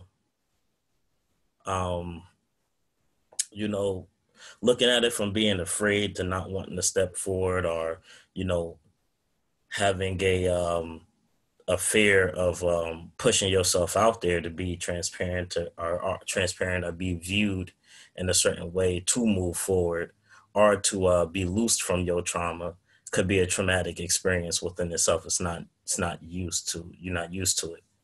Um, whatever the case may be, um, all of those things come into effect. Uh, in the Bible, it says uh, we are tempted of our own lust, and at the end of the day, um, a lot of times we don't want uh, what we think we want, or what we think we want in our heads might be too much for us to handle. And in turn, we begin to do things to chip away at that because the ideal of what we want is um, too grandiose, too big. So, um, in short, that could be a reason why. That's not the only reason why. I think we've all alluded to multiple reasons why, but um, they all kind of intertwine. Uh, when we look at those terms of using other people or, you know, sucking them dry because we've been done wrong or we felt that we've been pushed to the back or we felt unheard or felt unwanted um, which i'm quite sure everybody at some point who's dealt with any form of a relationship on this earth can say they've felt that in some parts of times of their life. Is kind of what you do with it those are those all equal up to trauma in some way and as uh, tamar spoke on earlier is not a a plus b thing. It's uh it's um many different variables and I think this question is one of those many different variables kind of all jumbled into one pot so to speak. Um and it, it just creates a, a whole ball of negativity if we wanted to. And I think that's we I don't think I don't know if if if we really talked on this um but I'm quite sure we have Chief made made um, references to it as well. But uh, you know, that whole ideal of, you know, being satisfied with less, but speaking to wanting more is a big thing. Is a big thing. And um, you know, being accountable and and the essence of being accountable and being transparent is um understanding that. Um and sometimes listening in because even go ahead and correcting that could be a whole, you know, stepping out on what's not what's not um normal. You know, it's easy to sit in uh misery and say, Hey, I feel miserable. But um, you know, exploring that uh that green grass, you know, the term the grass is um always greener on the other side. But uh in some cases that could be true, but we rather sit where we know the ground is all patchy and uh and brown because we don't want to explore the green because that might mean stepping uh or tripping over a few things. And uh it's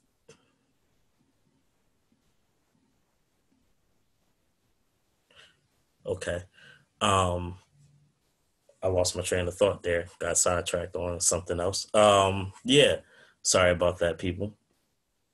Um, yeah, it's uh, it's it's crazy within itself. Um, you know, as they say, insanity, or the uh, let's say uh, not the actual term, but the uh, the most used term of insanity is doing the same thing and expecting a different outcome. Um, stepping out is is a different outcome. That's doing something different. It's a lot harder to do that than doing the same thing because you know what the same thing presents. Stepping out could, pre- could could present the same issue or not. You know, I've even heard, you know, on this show, you know, in other places as well, people uh, allude to, um, you know, uh, who said it? I believe it was Shamika that said it. Um, no, Tamar said it. Tamar said uh, in reference to her a conversation she was having. She um, a, blessing could be blocked when you avoid certain connections with people. Um, you know what? How much time do I got left? Uh, actually, 15 seconds, and I had actually I reset the clock because of the uh the you know the uh, Shema whatever when they came in and uh you know and myself as well. So I, I had actually reset it. Um, but I'll I could throw another. I could throw another minute or two on if you need it, brother. Uh, no, it ain't gonna take that long. I, I can wrap this up. Um, I'm gonna wrap this up right here. Um, a lot of times we we begin to uh do things to kind of push ourselves back and push ourselves in situations because it it's suitable for us. It makes the most sense at the time, but uh, we may be missing other opportunities by doing that very thing.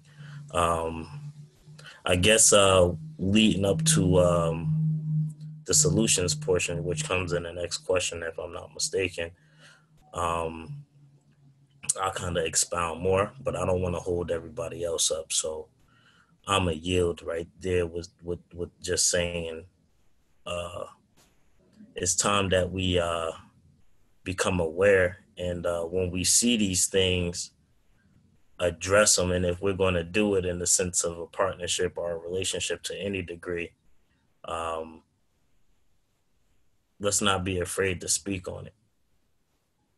So um, I'm, gonna go ahead and yield there. Everything was very well said, y'all. Did a great job. Um, so I'll just add Oh, what can add? Um, no. So y'all basically said it like you know, hurt people tend to hurt people when you go through stuff or when you've been through so much hurt. At one point, um, your guard goes up, and when your guard go up, it's easy to um, self sabotage, and you tend to push people away before they can push you away, or at least that's what I I know to do at one point was to push people away before they push you away. Maybe because that's what um, you used to, or some people even feel like they um, that's what they deserve. You know what I'm saying? Like they don't deserve better. Some people feel like Bingo. they don't deserve better. Um, and then there's a point that I don't think none of us hit about the people who are um so cocky that they end up self-sabotaging. Like you may get a guy or whoever that thinks they are the stuff or a female who thinks she all that. And you so used to being the big dog that you find somebody that you really, really love, but you can't even express that.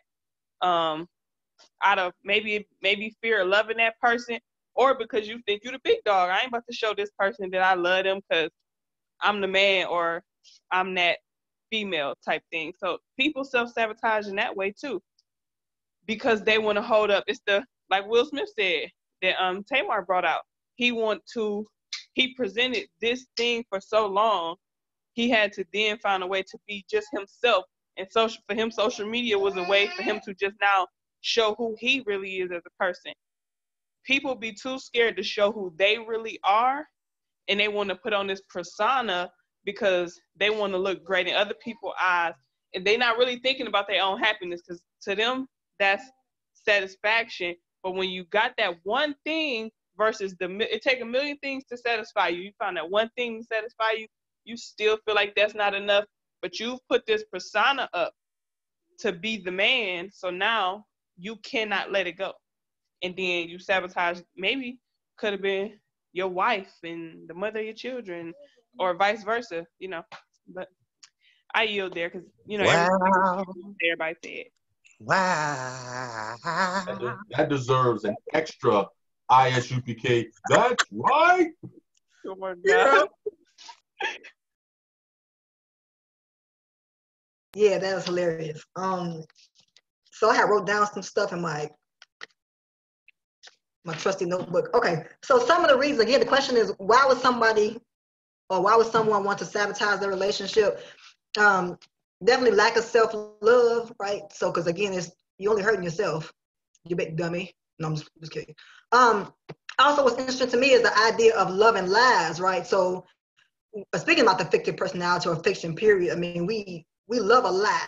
You know, um, even as a kid, kids lie uh, all the time. Not all the time, but they have a tendency to make up stuff because that's what you're introduced to early on our stories. You know what I'm saying? So, um, so then it's it's it's a comfort in that. It's a comfort in um, in, in in your mind living in a reality that does not exist. And I think that once you become an adult, that's when we often learn how hard the world is and how different it is from our expectations. I'll just speak for myself, right? The whole narrative of a brother coming up on a white horse. On the white horse is always white. That's racist too. Okay. But coming up and, you know what I'm saying, being a knight in shining armor, I still believe that. You know what I'm saying? And I think that that's a, a, a all out lie. You know what I'm saying? Uh, unless the story of Ruth is probably a good example of that, but never mind. But that's that's that's an anomaly, right? And um, lack of confidence. I think Shamika already said that too. You know, believing like you don't, feeling like you don't even really deserve it. You know, and that that can be uh, applies not only relationships but also to health. If you believe that you should be sick, if you get comfortable with being sick, you're not going to ever change. Or if you're or if you feel like um, uh, this is a real quick rant, but a lot of times, you know, when we eat certain things, they don't agree with our bodies, especially as we get older.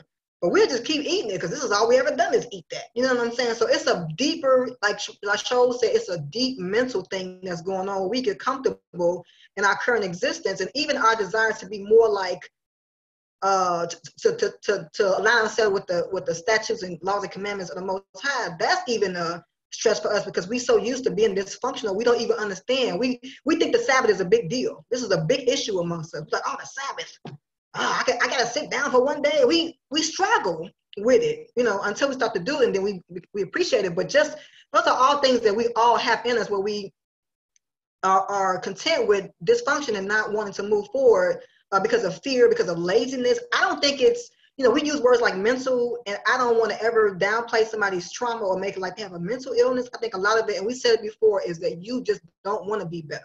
We don't want to step out of our comfort zone. I think um, a brother online uh, said mentioned about the about, the comfort zone. We don't want to necessarily do that because it's too because it's comfort. It's comfortable for a reason. We don't want to stretch ourselves. Also, we have an over reliance. I'm saying we collectively, just as a humankind, have an over reliance on other people, even even in the construct of you know psychologists. And I'm not against psychology, obviously, right?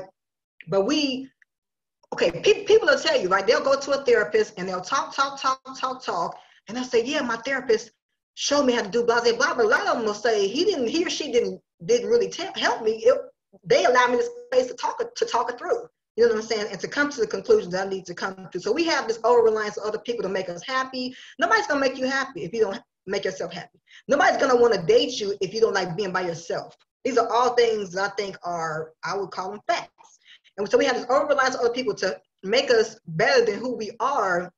And we, uh, Shaw said this, I think it was Shaw that said it. Yeah, yeah, yeah. He just said the other day, you know, the whole idea of, I, I don't know, I don't, I don't want to misquote you, but it was something about um, you know, we, we don't really trust God to, to really give us what we, we need. We, oh, this is what he said. He said, we put people, um, we give them the responsibility of having to make us happy so that when they don't do it, it breaks us up and we're now we're on the flow again. But you're making this person an idol. You know what I'm saying? So we have a lot of stuff in us as human beings that is resistant to health and wealth and well-being and joy and love and all the fruits of the spirit and all that stuff, whether you believe in New Testament or not, even if you believe in Deuteronomy 28, 1 through 14, we, we have a natural aversion to those things because we don't really believe that we deserve it. And it might also be that if you get it, maybe you feel like you'll mess it up. But, uh, you know, so the decision is ultimately, I think, within within all of us to, to figure out how we want to live our lives and to not put it on nobody else. The biggest thing you could do is tell yourself that you can achieve whatever you think you can achieve. That's the biggest thing. You you you're the one that's standing in your way. It's not anybody else. It's not your relationships, not your parents. It's not the kid in third grade who stole your lunch. It's you. You have the ability to change um, your life. So, uh, Aria, I'm not sure if you want to say some some thoughts before we get to the last question. If so, I'm gonna mute myself. I just forgot about me, huh? Oh. Oh, I'm sorry. My bad. Go ahead, bro. Oh man, that's crazy. I forgive you. No, I'm just playing. Um, why would somebody want to sabotage a relationship? Uh, I think. I mean, that's why Zebulon, man, you gotta stop going first, man. You be killing the whole thing, man. You know what I'm saying? I, I, I don't. I had already. I had already instructed. Uh, That's right. To remove me from because I because I do go on rants and I know I'm long winded. So hey, that, that, man killed the, that man answered all the questions before he even got to it. I'll be doing that too. Though. I can't blame it on you, man. That's right. but yeah, um, but it's just like the it's just like Zebulon said, man. Um, you know, when you when you grow up in a certain environment, that's what you're used to. That's what you're attracted to. That's what you want to do. Um, like they say, two two negatives make a positive, and you know that positivity is positive is negative but it's positive for them because that's what they're used to. That's what they want. That's what they like. Sometimes we don't even know we like that stuff and we still and, and we go and do it. And then when somebody pointed out we be in denial like oh man nah that that can't be it. You know what i'm saying? Um right. Yes uh, Yashayahu said false sense of positivity and when when I say positivity, I'm not talking about the word positive in a positive way. I'm saying that, that, that they get a positive charge from being negative. You know what I'm saying? They get a positive charge from being negative towards one another. Two negatives make a positive. Um, and so, but you know, the thing is, I always try to give a solution every time I get on the show. And, you know, really, these things can be solved by just making the right decisions in regards to who to marry, who to produce children with, um, keeping the father in the home, letting the father lead the home, letting the father instruct the home. You know what I'm saying? Um, you know, and then that way they can teach their children. Because the thing is, it, it was just it's, it's this meme that been floating, floating around Facebook for a few years, where it was showing a boy um, in his young age that had a bunch of pieces of his body missing, and it was showing his father taking pieces of his body and giving it to the boy or adding it on to the boy as he grew older. And so at the end of the day, a lot of these things that we're talking about are as a result of this is how essential fathers are and how important it is for them, these fathers, to have wisdom and to have understanding so they can instruct their families and give their families that confidence and that um and and, and that that know-how, that discernment that they need to you know counteract these negative things in the world because the world is negative. You know, it's, it's, it's going to be things that people are going to go through no, no matter how positive you are, no, no, uh, you are, or no, no matter how good you are or how well you was raised. It's, things are to happen. You know what I'm saying? So we have to we have to fix this by bringing the families back together and, and putting things in a proper perspective and proper place.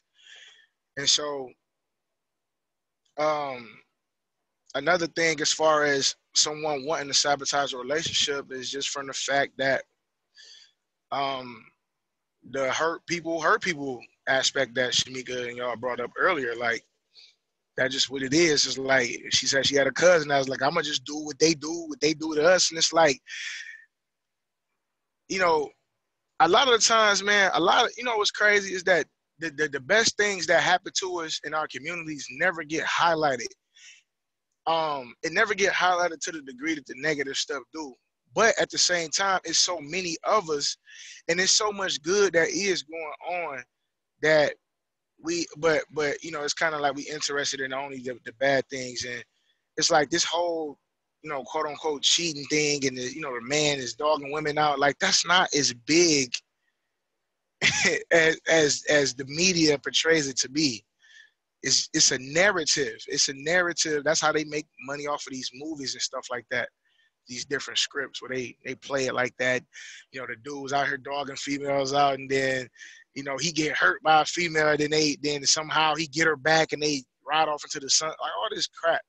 And it's like, man, we got to get off of that because it's it's not it's not it's, it's not like that. You know what I'm saying? It's, it's not like that. To, it's not everybody. I'm gonna say it like that. It's not everybody. And so I'm gonna yield with that. I really had too much to say anyway. I just want to throw my two cents in. What I had to say wasn't really that significant anyway. And it's cool though, because y'all be Line killed that thing, man. I appreciate you, brother. You know what I'm saying?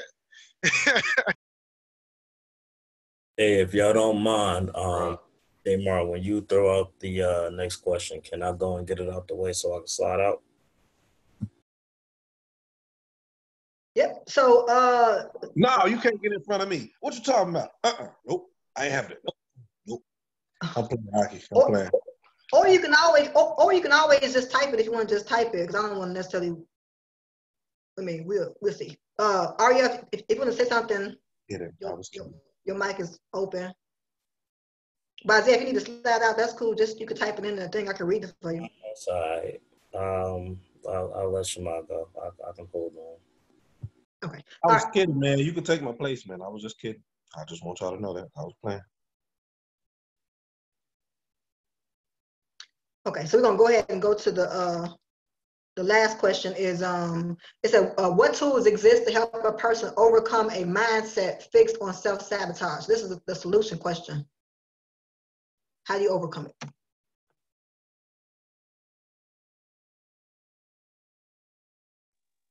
You want to go, or you want me to go ahead and knock it out?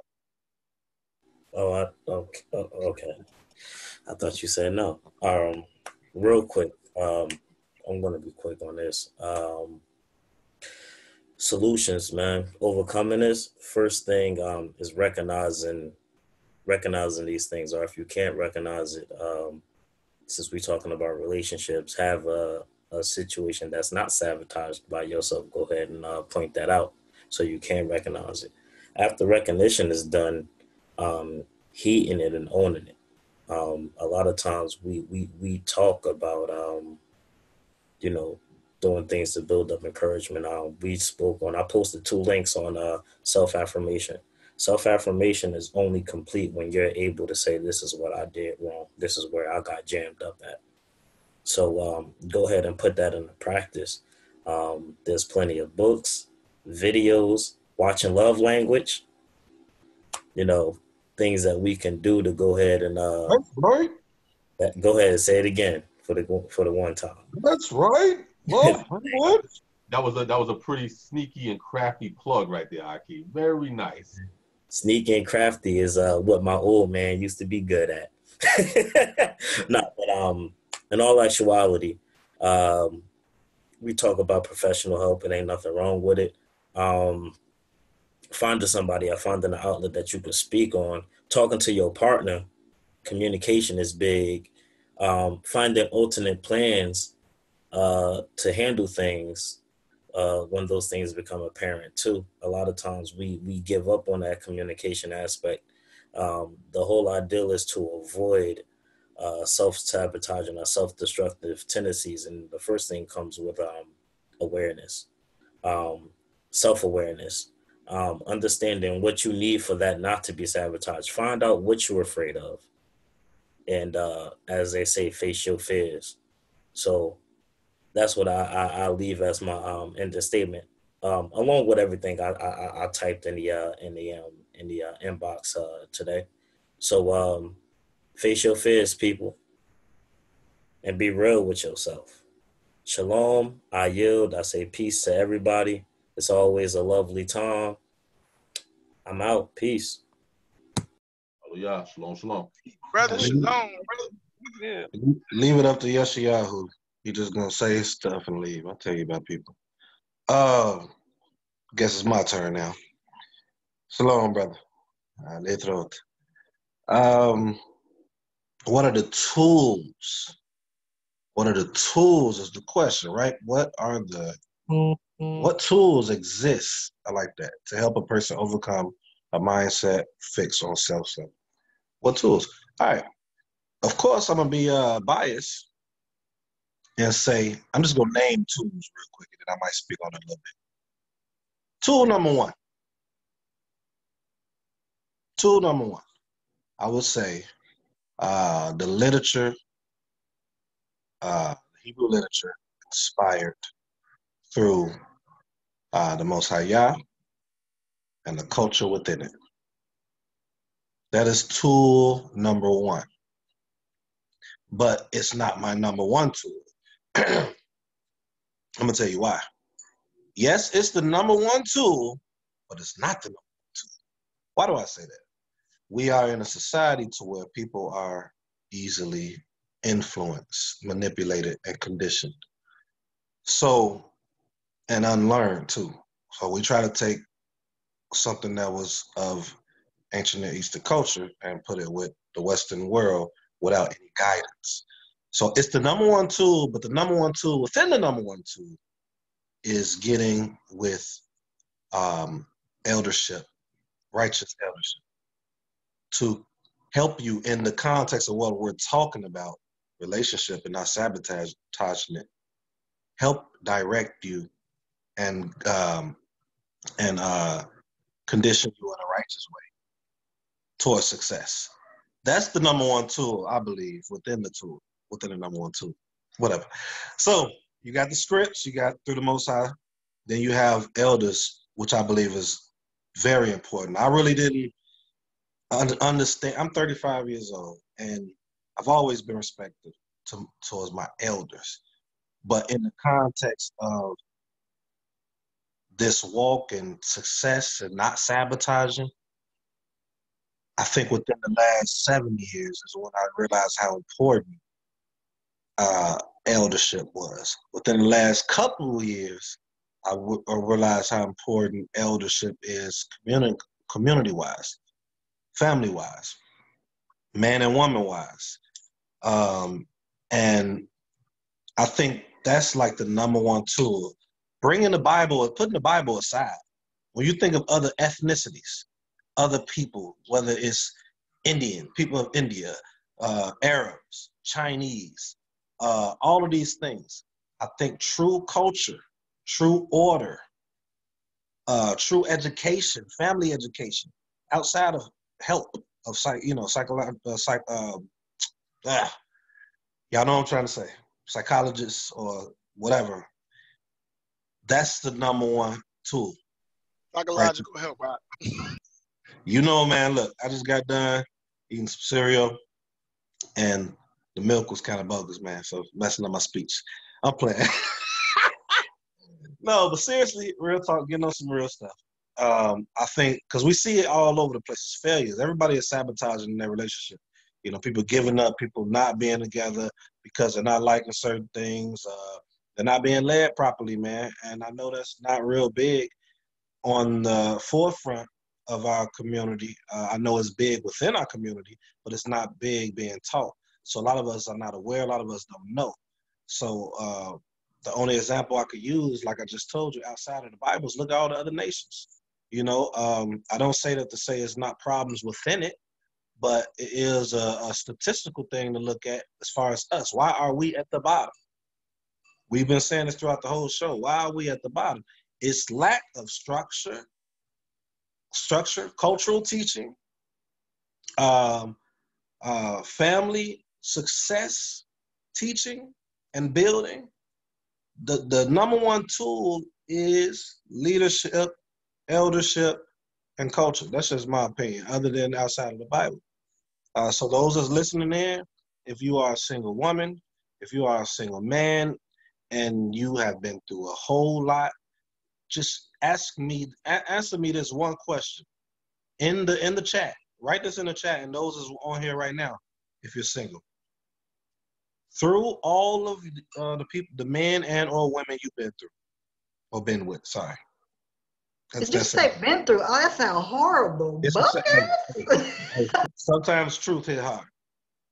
Have you? I gotta finish this last statement. I heard I heard the beat, but I think this is gonna be the most profound of what I'm gonna say. Nah, bro. All, all that nah, other stuff, nah, all that other stuff, all that other stuff was a rant. Okay, so this is truth right here. This is truth. All of you all that have, that's single right now, that has had a couple relationships, and before you all became in a relationship, did you have elders, a man and or a woman, married couple, help guide your courtship? Or did you just pick that man and or woman and decide to be in a relationship, then you introduce them to the family or the elders when it was too late. Think on that question. All the older women and the older men, think on that question. For me, my answer is no. I didn't have or use an elder, a righteous elder that was along my journey to kind of help guide the courtship. And some people say, well, it could fail regardless. How do you know if you never tried? And with that, I yield. Boom. Did you say boss? What you say? I'm sorry. I said boom. Boom. Kane, um, what tools exist to help a person overcome the mindset fixed on self-sabotage? Honestly, and, and I'm gonna say this only from because it's my experience, and I'm not saying it as the you know as the all end, you know, whatever like that, but for me, um, but for me, uh, community helped me um, climb out of the grave that I was in. Uh, one of the things that I needed and didn't realize at the time, I needed to see examples of functionality uh, for my life, for you know, for marriage, for being you know, for being a Hebrew man. All these things I needed to see the examples. It's one thing to hear someone say it, because it, cause it's just information. It's like, okay, yeah, yeah, whatever. But when you actually see it happen and see it go down, that feeds a different part of your soul. It feeds a different part of your mind. So when I started to see functional relationships, like I look at um, I always look, I always look to um, Most High bless his memory, Chief of Chiefs Naphtali. Him and his wife, they met in their late teens, early twenties, came into the truth together, and had almost sixty years in. Whatever. I mean, that's a long time to be looking in anybody's face.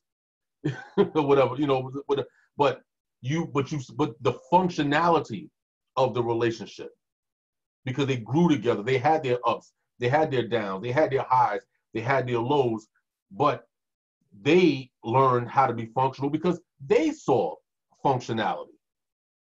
And so all they did was took what they saw, implemented in a way that was um, conducive to their relationship, and they flourished. And I had an opportunity to see these type of relationships all throughout the Hebrew community.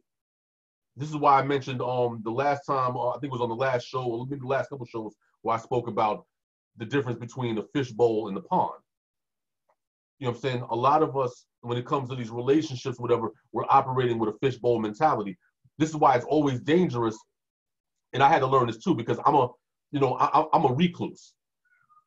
You know, um, I guess naturally I'm a recluse. I like to be by myself. But I also know the dangers of being a recluse is because now there's no checks and balances. You start believing every, you start believing your own hype and start believing that everything you're thinking is right. Like, yeah, it's whatever. I'm, you know, like the five percenters used to say, you know, I, you know, I am, I am the best knower. So when you start thinking like that, there's no checks and balances. There's nobody to tell you, hey, you're full of crap, or hey, you're off. You need to get, you know, saying you need to level up or whatever. But when you're in a community and everyone is giving you checks and balances, you don't have the time to develop or to further establish um, these self, um, you know, these self-destructive tendencies because someone's going to see it and say, "Oh no, brother, you're, you're out of your damn mind. There's a devil on you or something. You need learning. You need teaching." And so for me, that's what I what I was able to receive and what helped me to again, like I said, to climb out of that self-sabotage grave that I was in in my um in my teenage years. You have to surround yourself um with exam with, with positive examples, with um you know with uh, um thoroughly vetted examples of success, relationship wise, uh doctrinal doctrinal wise, uh wealth wise. Or you have to have that around you so that everything that you grew up hearing, the narrative that you heard growing up, starts to take a back seat because most of everything that's coming into your ear is righteousness, is positivity, it's upward mobility. So the negativity becomes the minority, it becomes a minority concept. Then it becomes easier to brush it off your shoulder and be like, eh, I'm not with that no more. Because you're being constantly flooded with right thinking. Uh, I, I just, Malachi York just slipped out of me. You know, right knowledge, you know what I'm saying, starts to seep in. And so the old thoughts get, you know, get pushed to the um to the back. And I think anybody who, you know, those of us who are um, you know, who are into psychology, we know that, you know, they they talk about core beliefs. Anything that you learn from birth to 10 years old is usually considered your core beliefs and that they never really go away. You just learn how to effectively build on top or build around it. So a lot of things that we knew when we were children, it's still there. And if we're not careful, we could slip back into it. But that's the power of having the pond around you, having plenty of other sources of righteousness, of success, and whatnot around you, so that even when you do have those thoughts that pop up in your head occasionally, they're immediately exercised out of your um out of your circumference. So again, for me, um, it's it, it's it's community. Uh, whether you're in a camp, uh, whether you're in a, um, a, a communal setting, temple, whatever you call your establishment, when you have a body of individuals who have already leveled up, it's going to force you to level up. And I think that will kind of, you know, kind of feeds into the mindset of kind of getting rid of self self sabotaging uh, tendencies because your community is not going to allow it, unless it's a self sabotaging community then you're screwed. Then you're screwed uh, ten times over. That's right. But um, but just but generally speaking, for me, um, in my experiences, that's what helped me, you know, helped me because I was able to see the examples of success, financial success, spiritual success, um, married marital success. And so I took that and said, okay, now once I clean up the graveyard in my, in my backyard, now I can move forward the right way. And that's what I was able to extract from that. So for me, that's what you know, that's what um what helped me. With that, I um I fall back. Okay. Um, I definitely agree with the brothers. They said it. You need somebody around you, um, preferably an elder or someone knowledgeable. Um, and you have to be self-aware because somebody can tell you something, but if you're in denial, you're not gonna fix it. So you have to be self-aware and willing to check yourself and the people around you. Um, you can't have a bunch of yes men and women around you. You got to have friends that will check you. And um, all praise to the Most High. I had friends um, that will check me, and so did uh, my husband because um, I am a self sabotager or was, and I tried to do the same thing with that situation. I'm talking about any little argument. We can be arguing over who ate the last cookie. I'm like, you can leave. Everybody else did, type thing, because of what you used to. And luckily for me, I had somebody who loved me unconditionally. So when I be talking crazy, he just ignored me. And he'd just be looking like, you done? Okay. It was a cookie, Shamika. It was a cookie. So, you know, then I'd be like, well, hold on, it was just a little cookie. I could walk around to the stove. So, you know, you gotta have somebody willing to check because he he has no problem with checking me like it ain't even that deep. And he he was always the fixer. Like no matter if he started the argument or me, um, if I because I always go deep. I always self sabotage. I always go real, real deep for no reason. And he'll be the person to always try to make it right. So him doing that, and plus my friends saying what they were saying, got me together. And then I start checking myself and I start being aware, like, okay, you know. So you gotta just check yourself, self-awareness. And like the brother said, you gotta have people around you who are examples. Cause I, I definitely had two people um, come later on in my life who had great marriages, not to the beat of they never got into it and stuff like that, but they, them and their issues showed me how to work through mine, like arguments and things like that. It actually, me and the wife studying together also taught me how to hold my tongue. Like in arguments, everything you don't have to rebut or everything you don't have to go back and forth. If he say something, you say less. Walk away. Let it go. And then revisit it if necessary. Everything don't need to be revisited. Sometimes you just gotta let it go. So me and her conversations, our studies, and just being able to get advice from them as a couple helped us tremendously. And it helped me to recognize myself and move past of past hurt and let that baggage go because this person had nothing to do with that.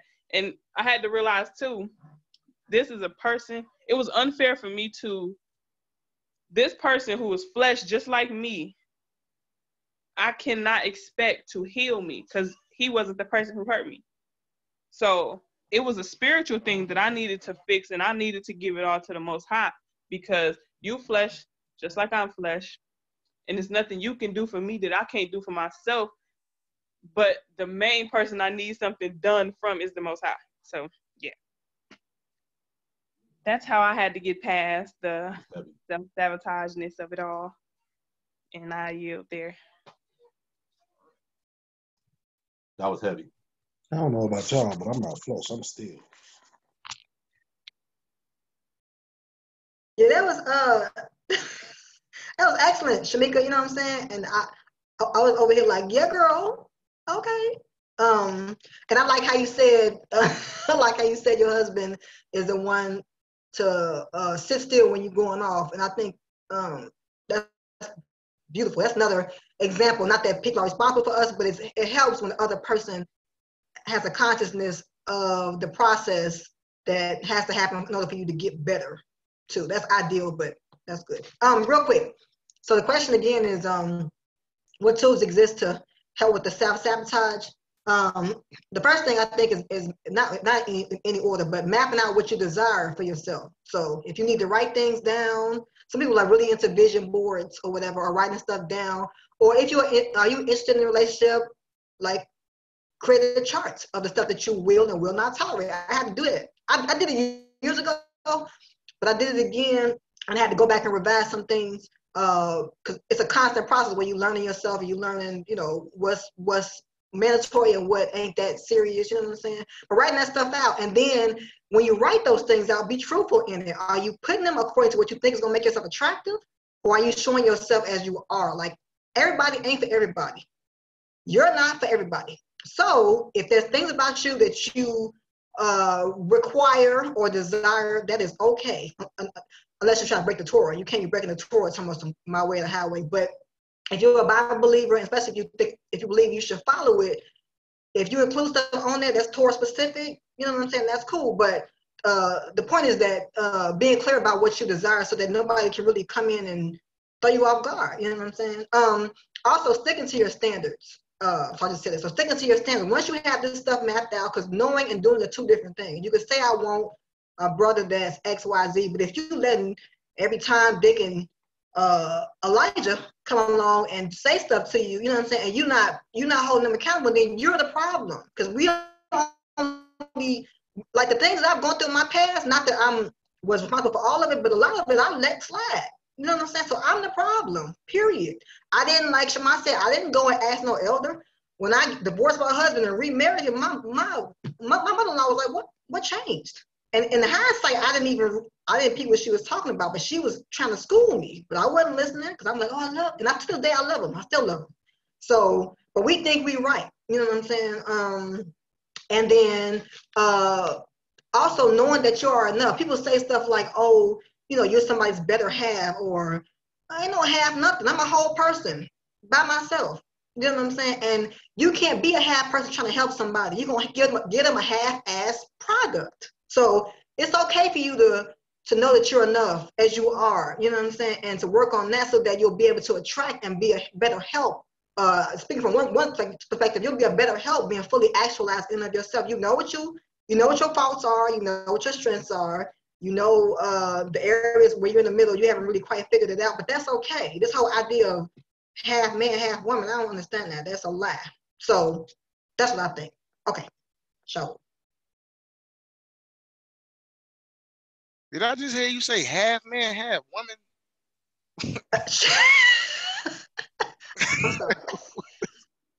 what did you say? Did you say half? Did you say half man, half woman? I did. I didn't mean it like that. I didn't mean it like that. Okay. okay, cool. All right. Uh, yeah, that because I yeah, that caught me off guard. That's crazy. But yeah, anyway, what tools exist to help a person overcome a mindset fixed on sabotage? Okay, uh oh man, got me crying with that one. That's crazy. Um uh, one thing I do want to say is this: don't take that mindset to the grave, convincing yourself that you're protecting yourself and you're going to be in, in, in, in, righteousness with the Most High, and you're going to, and, and you know, don't don't don't assume that. Don't don't don't assume that. Ah, see, I'm doing this because I ain't trying to get hurt, and you just die with that mindset, and you think that you're gonna be don't assume that you're in the right alignment with the Most High by doing that. That's all I'm gonna say. I ain't saying that you ain't or you not gonna be, but I'm just saying you don't want to assume that you're gonna be. You know that that's a bad thing that might turn out for you. But um, uh,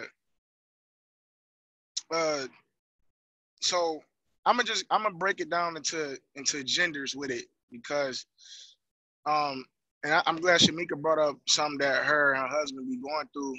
Or, or at, at, one point in time, they was they, they, they had to discuss it. She had to check herself after they after he came and you know fix certain things, and that's what I want this is a solution for the brothers. This is what I want brothers to understand. That is your job.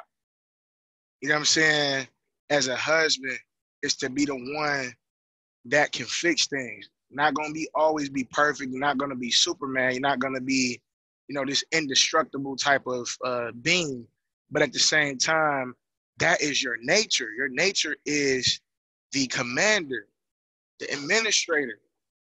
You know what I'm saying? The solution based thinker. You have the logic. You have the things and the tools necessary in your nature to bring solutions. This is how societies are built. Societies are built by men. You see what I'm saying? And so isolation is key. You know what I'm saying? So, but you know, in this society, a lot of brothers, uh, you know, they run jump right into a relationship. That's just how the society is. We just run and jump right into a relationship, either in high school or soon we get out, and we haven't even we haven't took time to ourselves to develop as a young man, as a young as as young men and as and as a young man to understand how we're going to lead a family, how we're going to fix and bring solutions to a issue. Um, we haven't given ourselves the time to mature on, on that level, especially a lot of us that's coming from fatherless households, really behind the time when it comes to that. So isolation for brothers and not being not jumping into a relationship at a young age is key for brothers. Because we don't have our biological clock is not what a woman's is. It's not the same thing. We don't have uh uh we, we don't have to worry about oh man my peak is at this time or that time like no work on yourself as a man. Understand how to lead. Understand how to be a three-dimensional thinker. Understand how to see.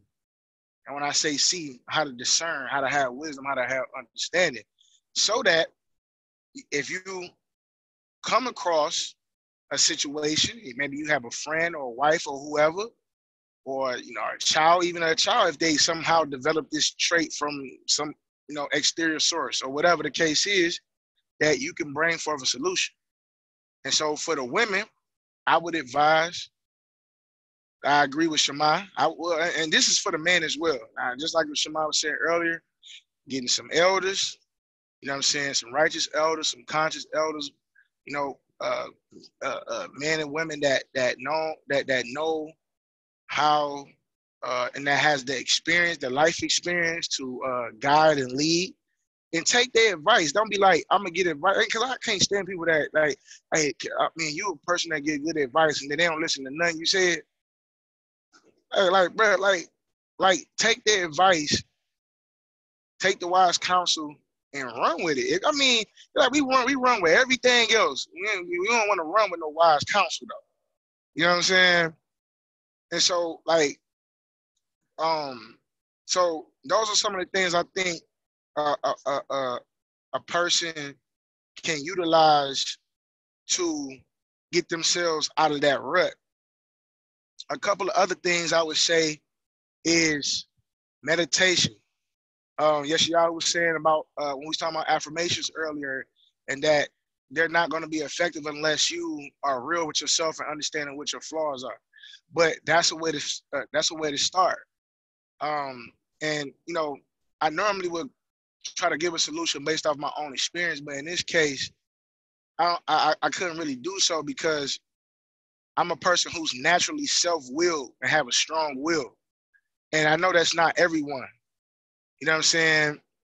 And um, and I also know that some I have a little bit more of an advantage over certain people than others, you know what I'm saying? Because I had a father in my life and a lot of my will and the strength that I have in certain things and a lot of the passion that I have comes from what my father had when I was coming up. So, but at the same time, I would also use that as a, as a backdrop to say that that's another way to get us out of this is for those who, you know, going back to the point I made earlier about don't go to the grave with that mindset. Because at the end of the day, like you said, you're the only one that can fix you. Don't you go to the grave with that mindset. Don't you continue to make that excuse that, well, all I know is this, so I can't fix nothing. I don't want to hear that because you can't come around me. You can't come around me with that. I'm telling you right now. You're gonna be mad. Like I don't like that dude Shaul, man. He he'll never. I ain't. I don't want to hit. You know what I'm saying? And so at the end of the day, um, you're gonna have to. You're gonna have to be like, I'm tired of this, and I'm gonna change it. And you're gonna have to will yourself to change. You know what I'm saying? Since you're the one that uh, that you feel is the one capable of, you know, making yourself happy and, uh, and getting yourself out of this out of this hole. You're gonna have to figure out a way, and you're gonna have to get so tired that you're gonna say, "I'm going, I, I'm going to do this." Conscious effort. With that, shalom, peace and blessings. Yeah, well, well said. Oh, Shemai, you want, you want to say something? Uh, before you end it, like I, I know we got a couple people to go through. I think I don't know, but before you end, I want to bring something out that might be helpful, especially for the men, and uh, interesting probably for the women to hear too. But go ahead, just you know, before you close out, I just wanted to bring that up. No, go ahead because I'm gonna I'm close it out and I'm gonna I'm, I'm, I'm announce the next two weeks uh, uh, episode titles. All right, uh, appreciate all y'all again. Just want to make sure I say that. Um, this might not be.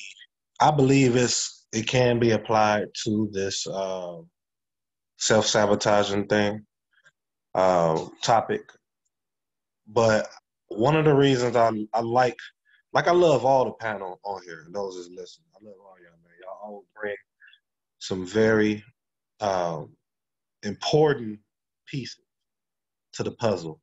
Um, important individual ministries to the puzzle too, and you wake a lot of us up. I get woken up all the time through you all. Uh, I loved what the part that Shaul brings to it, and what I brought from what I see from his message a lot is I feel like his ministry is more geared towards not only everybody but more so the man. And I think it's very important how he does that. At first, I wasn't.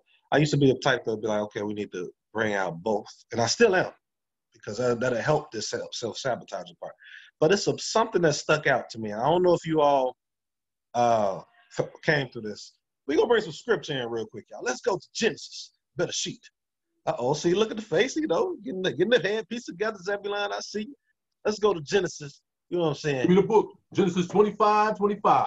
Oh my goodness, that too. I'm gonna go to Genesis one, uh, 27, y'all, real quick, and I want to just show y'all something. And I want to, I want this to be known for the man because y'all, uh, uh, this needs to be, this is important to me. So it says, so God created man in His own image, right? In the image of God created He him, male and female created He them. My question to y'all before I even go forward have any one of you on the panel and those that's listening, have you ever looked at those words, male and female, in Hebrew? I know you I have. I have. You I say you I have. have. I, I, I I have. I, I have. Okay, so Shaul has. Tomorrow you say you haven't or you have. I think I have. I might be making it up. Okay, I you have. might be. You're probably making it up. Okay, so the Hebrew word. I'm gonna go. I'm gonna read in a minute, but the Hebrew word for the man is zakar, which is weird, right? We know that man is isha. It means remember. Yeah, I, I did go. I did. I do know the answer. right. I know the Don't answer. be, don't be don't be killing my message right now. Okay? Let me do what I'm trying to do since and you're ruining it right now. Ah achot. Okay? Okay, so the man is the male is Zakar, right? And the female is what is it? Uh Ne- Nekaba? I gotta go off memory. I think it's Nekaba or Naz something. What is it? Uh, is it- is it- Hey, Nahueba. Nahueva. Okay. So what is the purpose of me putting this out there? And this is why I love the fact that you know myself and Shaul is really bringing on, and and uh, uh Zeb, Chief Zeb, eldership. And this might be a little bit out of context, but y'all know I'm on con. I do concepts too, right? So let me go to the actual word. So she said she gave y'all an idea of uh the man. The man or the male, hold on, let me go to it for y'all one second, is zakar. So it means remember, right? To remember. Um, it shows, it says, uh, a male as being who through whom memorial of parents is continued. We know that, right? We know that through the Tanakh or the Torah, how the the home is established, the house of so and so, right? And then it also says as being the most no noteworthy sex, or noteworthy would mean in this context significant sex, significant significant of the two. Uh, that doesn't exclude the woman at all, but it's a reason behind what I'm trying to bring out. So, a lot of these um, things that's going on with us, with the self sabotaging, is goes back into the education that I'm talking about.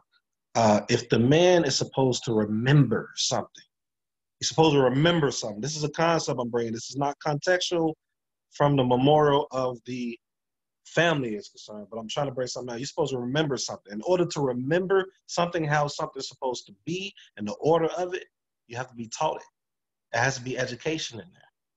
So, elders' job is to teach both, but to really get the man to really know the role and how he is supposed to lead his family in all aspects. That way, you can remember from what the elder and the text is teaching and keep passing it down. A memorial for the children coming from them and success within the family. But a lot of us don't remember because a lot of us aren't taught. What does the Most High say all the time? This is for you and your generation to remember. Write this down. Say daily, X, Y, and Z, to remember. But how do you remember if you don't have the proper leader of the home to bring it out. I told a sister yesterday, and I stole Zebulon's thing with the 50 with the uh, 5149 when I brought it out. I, I mentioned your name though, Zeb. I didn't really step. I mentioned yeah, your name. Yeah, that comes from Chief of Chiefs Naphtali. I, I co-opted it from him years ago. So Okay. you know. So I took it. So I took it from you, and I made sure when I was saying like what I'm saying now, and I brought this out yesterday too, is not to say that we we have our our roles. So the man is supposed to bring this stuff forth to the woman, so that way she can uh, uh, teach it amongst the children as well. The man do too, but the roles is a little different in that aspect. My whole point in all this is saying the whole sabotaging of the relationship more so stems from that very foundation we keep talking about the man and the woman. The man has to be taught properly, man. A lot of us are not taught properly. And a lot of times we're not taught properly is because we don't have the proper righteous elders. Men as the elder and their wives to help teach both. Some of us were too happy or too proud to what we don't need to, we, we feel we don't need to. You know what I'm saying? Some of us on here and out here, we, you know, we feel we're at a certain level. I feel I'm at a certain level, but you best believe I'm about to learn from somebody that's successful. You know what I'm saying? But that's that's that's it, y'all. I just wanted to bring it out. Take a study on that Genesis 127. I thought that was interesting a couple of years ago when I heard that. When I looked at it, I'm like, man, this is consistent throughout the whole scripture. And the most I always saying, remember, remember, remember, remember. So who's supposed to remember who's supposed to pass it down? Mm, mm, mm. That's crazy. And I Man, see real that's- quick, That's Uh, hit that um, hit that Naqueba. That's where it gets really, really off the chain. Go ahead. Hey, bring it out real quick before we leave. I mean, we went to three last week. Let's just go for a couple more minutes. I, yeah, because I was about to piggyback off what you said. Yeah, but but but but if I can just just uh, real quick, and Yeah. the next two the, the next two what I want to offer is that the next two weeks we're gonna be talking about these roles. So can we save it until then? Ah, Yeah, because it's it, it- it- it- it is gonna- it is gonna it, yeah, it's gonna get really long, whatever. But I'll just say this: Nequeba, the word for female, it means to pierce or puncture. he just gonna give us that and go, huh? Okay. The nature of the woman. The nature of He the woman. dropped the mic. Hey, but you know what though? I'm not like I'm not gonna spoil that, anything like that because I know he is supposed to be talking about it. But I like that you brought that out because all like I talk I've been talking to Shema man for for a couple weeks now, like on a consistent basis, and I always tell him like what he was bringing out. about about the role of a man, you know what I'm saying, and about understanding the nature of the man and the woman. That way you know how to conduct yourself. Because a lot of the problems that we have in our relationships is just due to how to dwell with one another because we don't accept the roles that we supposed to accept. And that's our nature. You know what I'm saying? And so at the end of the day, I just like Fantasia said, you know, that the, the body can't do nothing without the head. So all the brothers have to come back into their rightful place and take a stand and put your foot down and rule your house with uh, balance, but also understanding wisdom and discernment, understanding your role as a man, understanding how to lead, having a vision. Every man, and this is the thing, if you're a brother that's single and you listen to this show right now, if you do not have a vision, do not get married. If you do not have anything that you seek to accomplish or any purpose in your life at this point in time, do not get into a relationship. Actual do not fact. enter a marriage. Never do that because it's your job to have a vision. It's your job to know where you're going because you can't lead or go anywhere without the vision. That's why I was that's why the solution I gave earlier for brothers is isolation. Do not enter a relationship coming out of high school if you're not already in one. And that matter of fact, if you in one, you ain't get married, break up with the girl and go into a point of isolation, work on yourself, work on your goals, figure out what you want, and produce a three, a five, a seven, a 10, 15, and a 20 year plan. So that way, when you 30, 35 years old, and you got a certain level of accomplishments in your life, whatever that may be, and you have some instructions to administrate to your family because your children are going to be seeking guidance from you. And it's your job to tell them where they should go, not for you to let them choose because they don't know. It's for you to know what you want them to do, it's for you to know what your wife is to do. And so that's what I wanted to say right there, man. You know. Anyway, I'ma just I'ma I'ma get out of here. I ain't gonna talk too much. You know I mean? I'm just tripping. Who who who man? I don't know. Maybe I don't know what I'm talking about. I don't. Real quick, okay, so we're gonna we're gonna get ready to close out. This is an excellent, excellent conversation. We had over hundred comments on the Facebook stream last I checked, so that's a lot of conversation. So praise the Most High for um for allowing us to to be open and honest and transparent about it. One thing I will say, just to to the comments about manhood, a woman, I mean, a man that has his ish together is mad attractive. So I concur, concur. All right. So what I want to say about the next two weeks um, topics is we're gonna do a two-part series on role playing. So it's called role playing, right? Because I'm a I like to pun words that, like a puns. But next week is role playing part one, becoming a husband. And the next week, most high willing, is role playing part two, becoming a wife. So we'll be able to dig into these words. If it'll be good if we can definitely dig into. I'm bringing scripture out next the next two. Yeah, I think that'd be good for us to bring those things out. But we'll be talking about what is it to become a husband? Like you're not just born a husband, and what is it to become a wife? And um, we encourage everybody to, of course, contribute to the conversation. We're gonna be probably opening the Bible next week, so y'all get ready. I don't know. Uh, you might might have some people that's gonna be like the Bible, Oh snap! the Bible. Oh snap! you know, they ain't nothing but the okay. word of man. Yeah, but you, know, but, but you know what's funny about that though? We you know we always saying shalom and happy Sabbath, so somebody should have peeped it a long time ago. You know what I'm saying? So Right, right. Uh, but but grace peace to everybody. We love you. Um, uh, if you're on Facebook, share the video. If you're on YouTube, watching it later on, share it so we can continue the conversation outside of this um, false contract, false construct of the internet. But grace peace, to everybody. we love you and be safe, Shaul. Until next time, shalom, shalom. Shalom. Shalom. Shalom, shalom.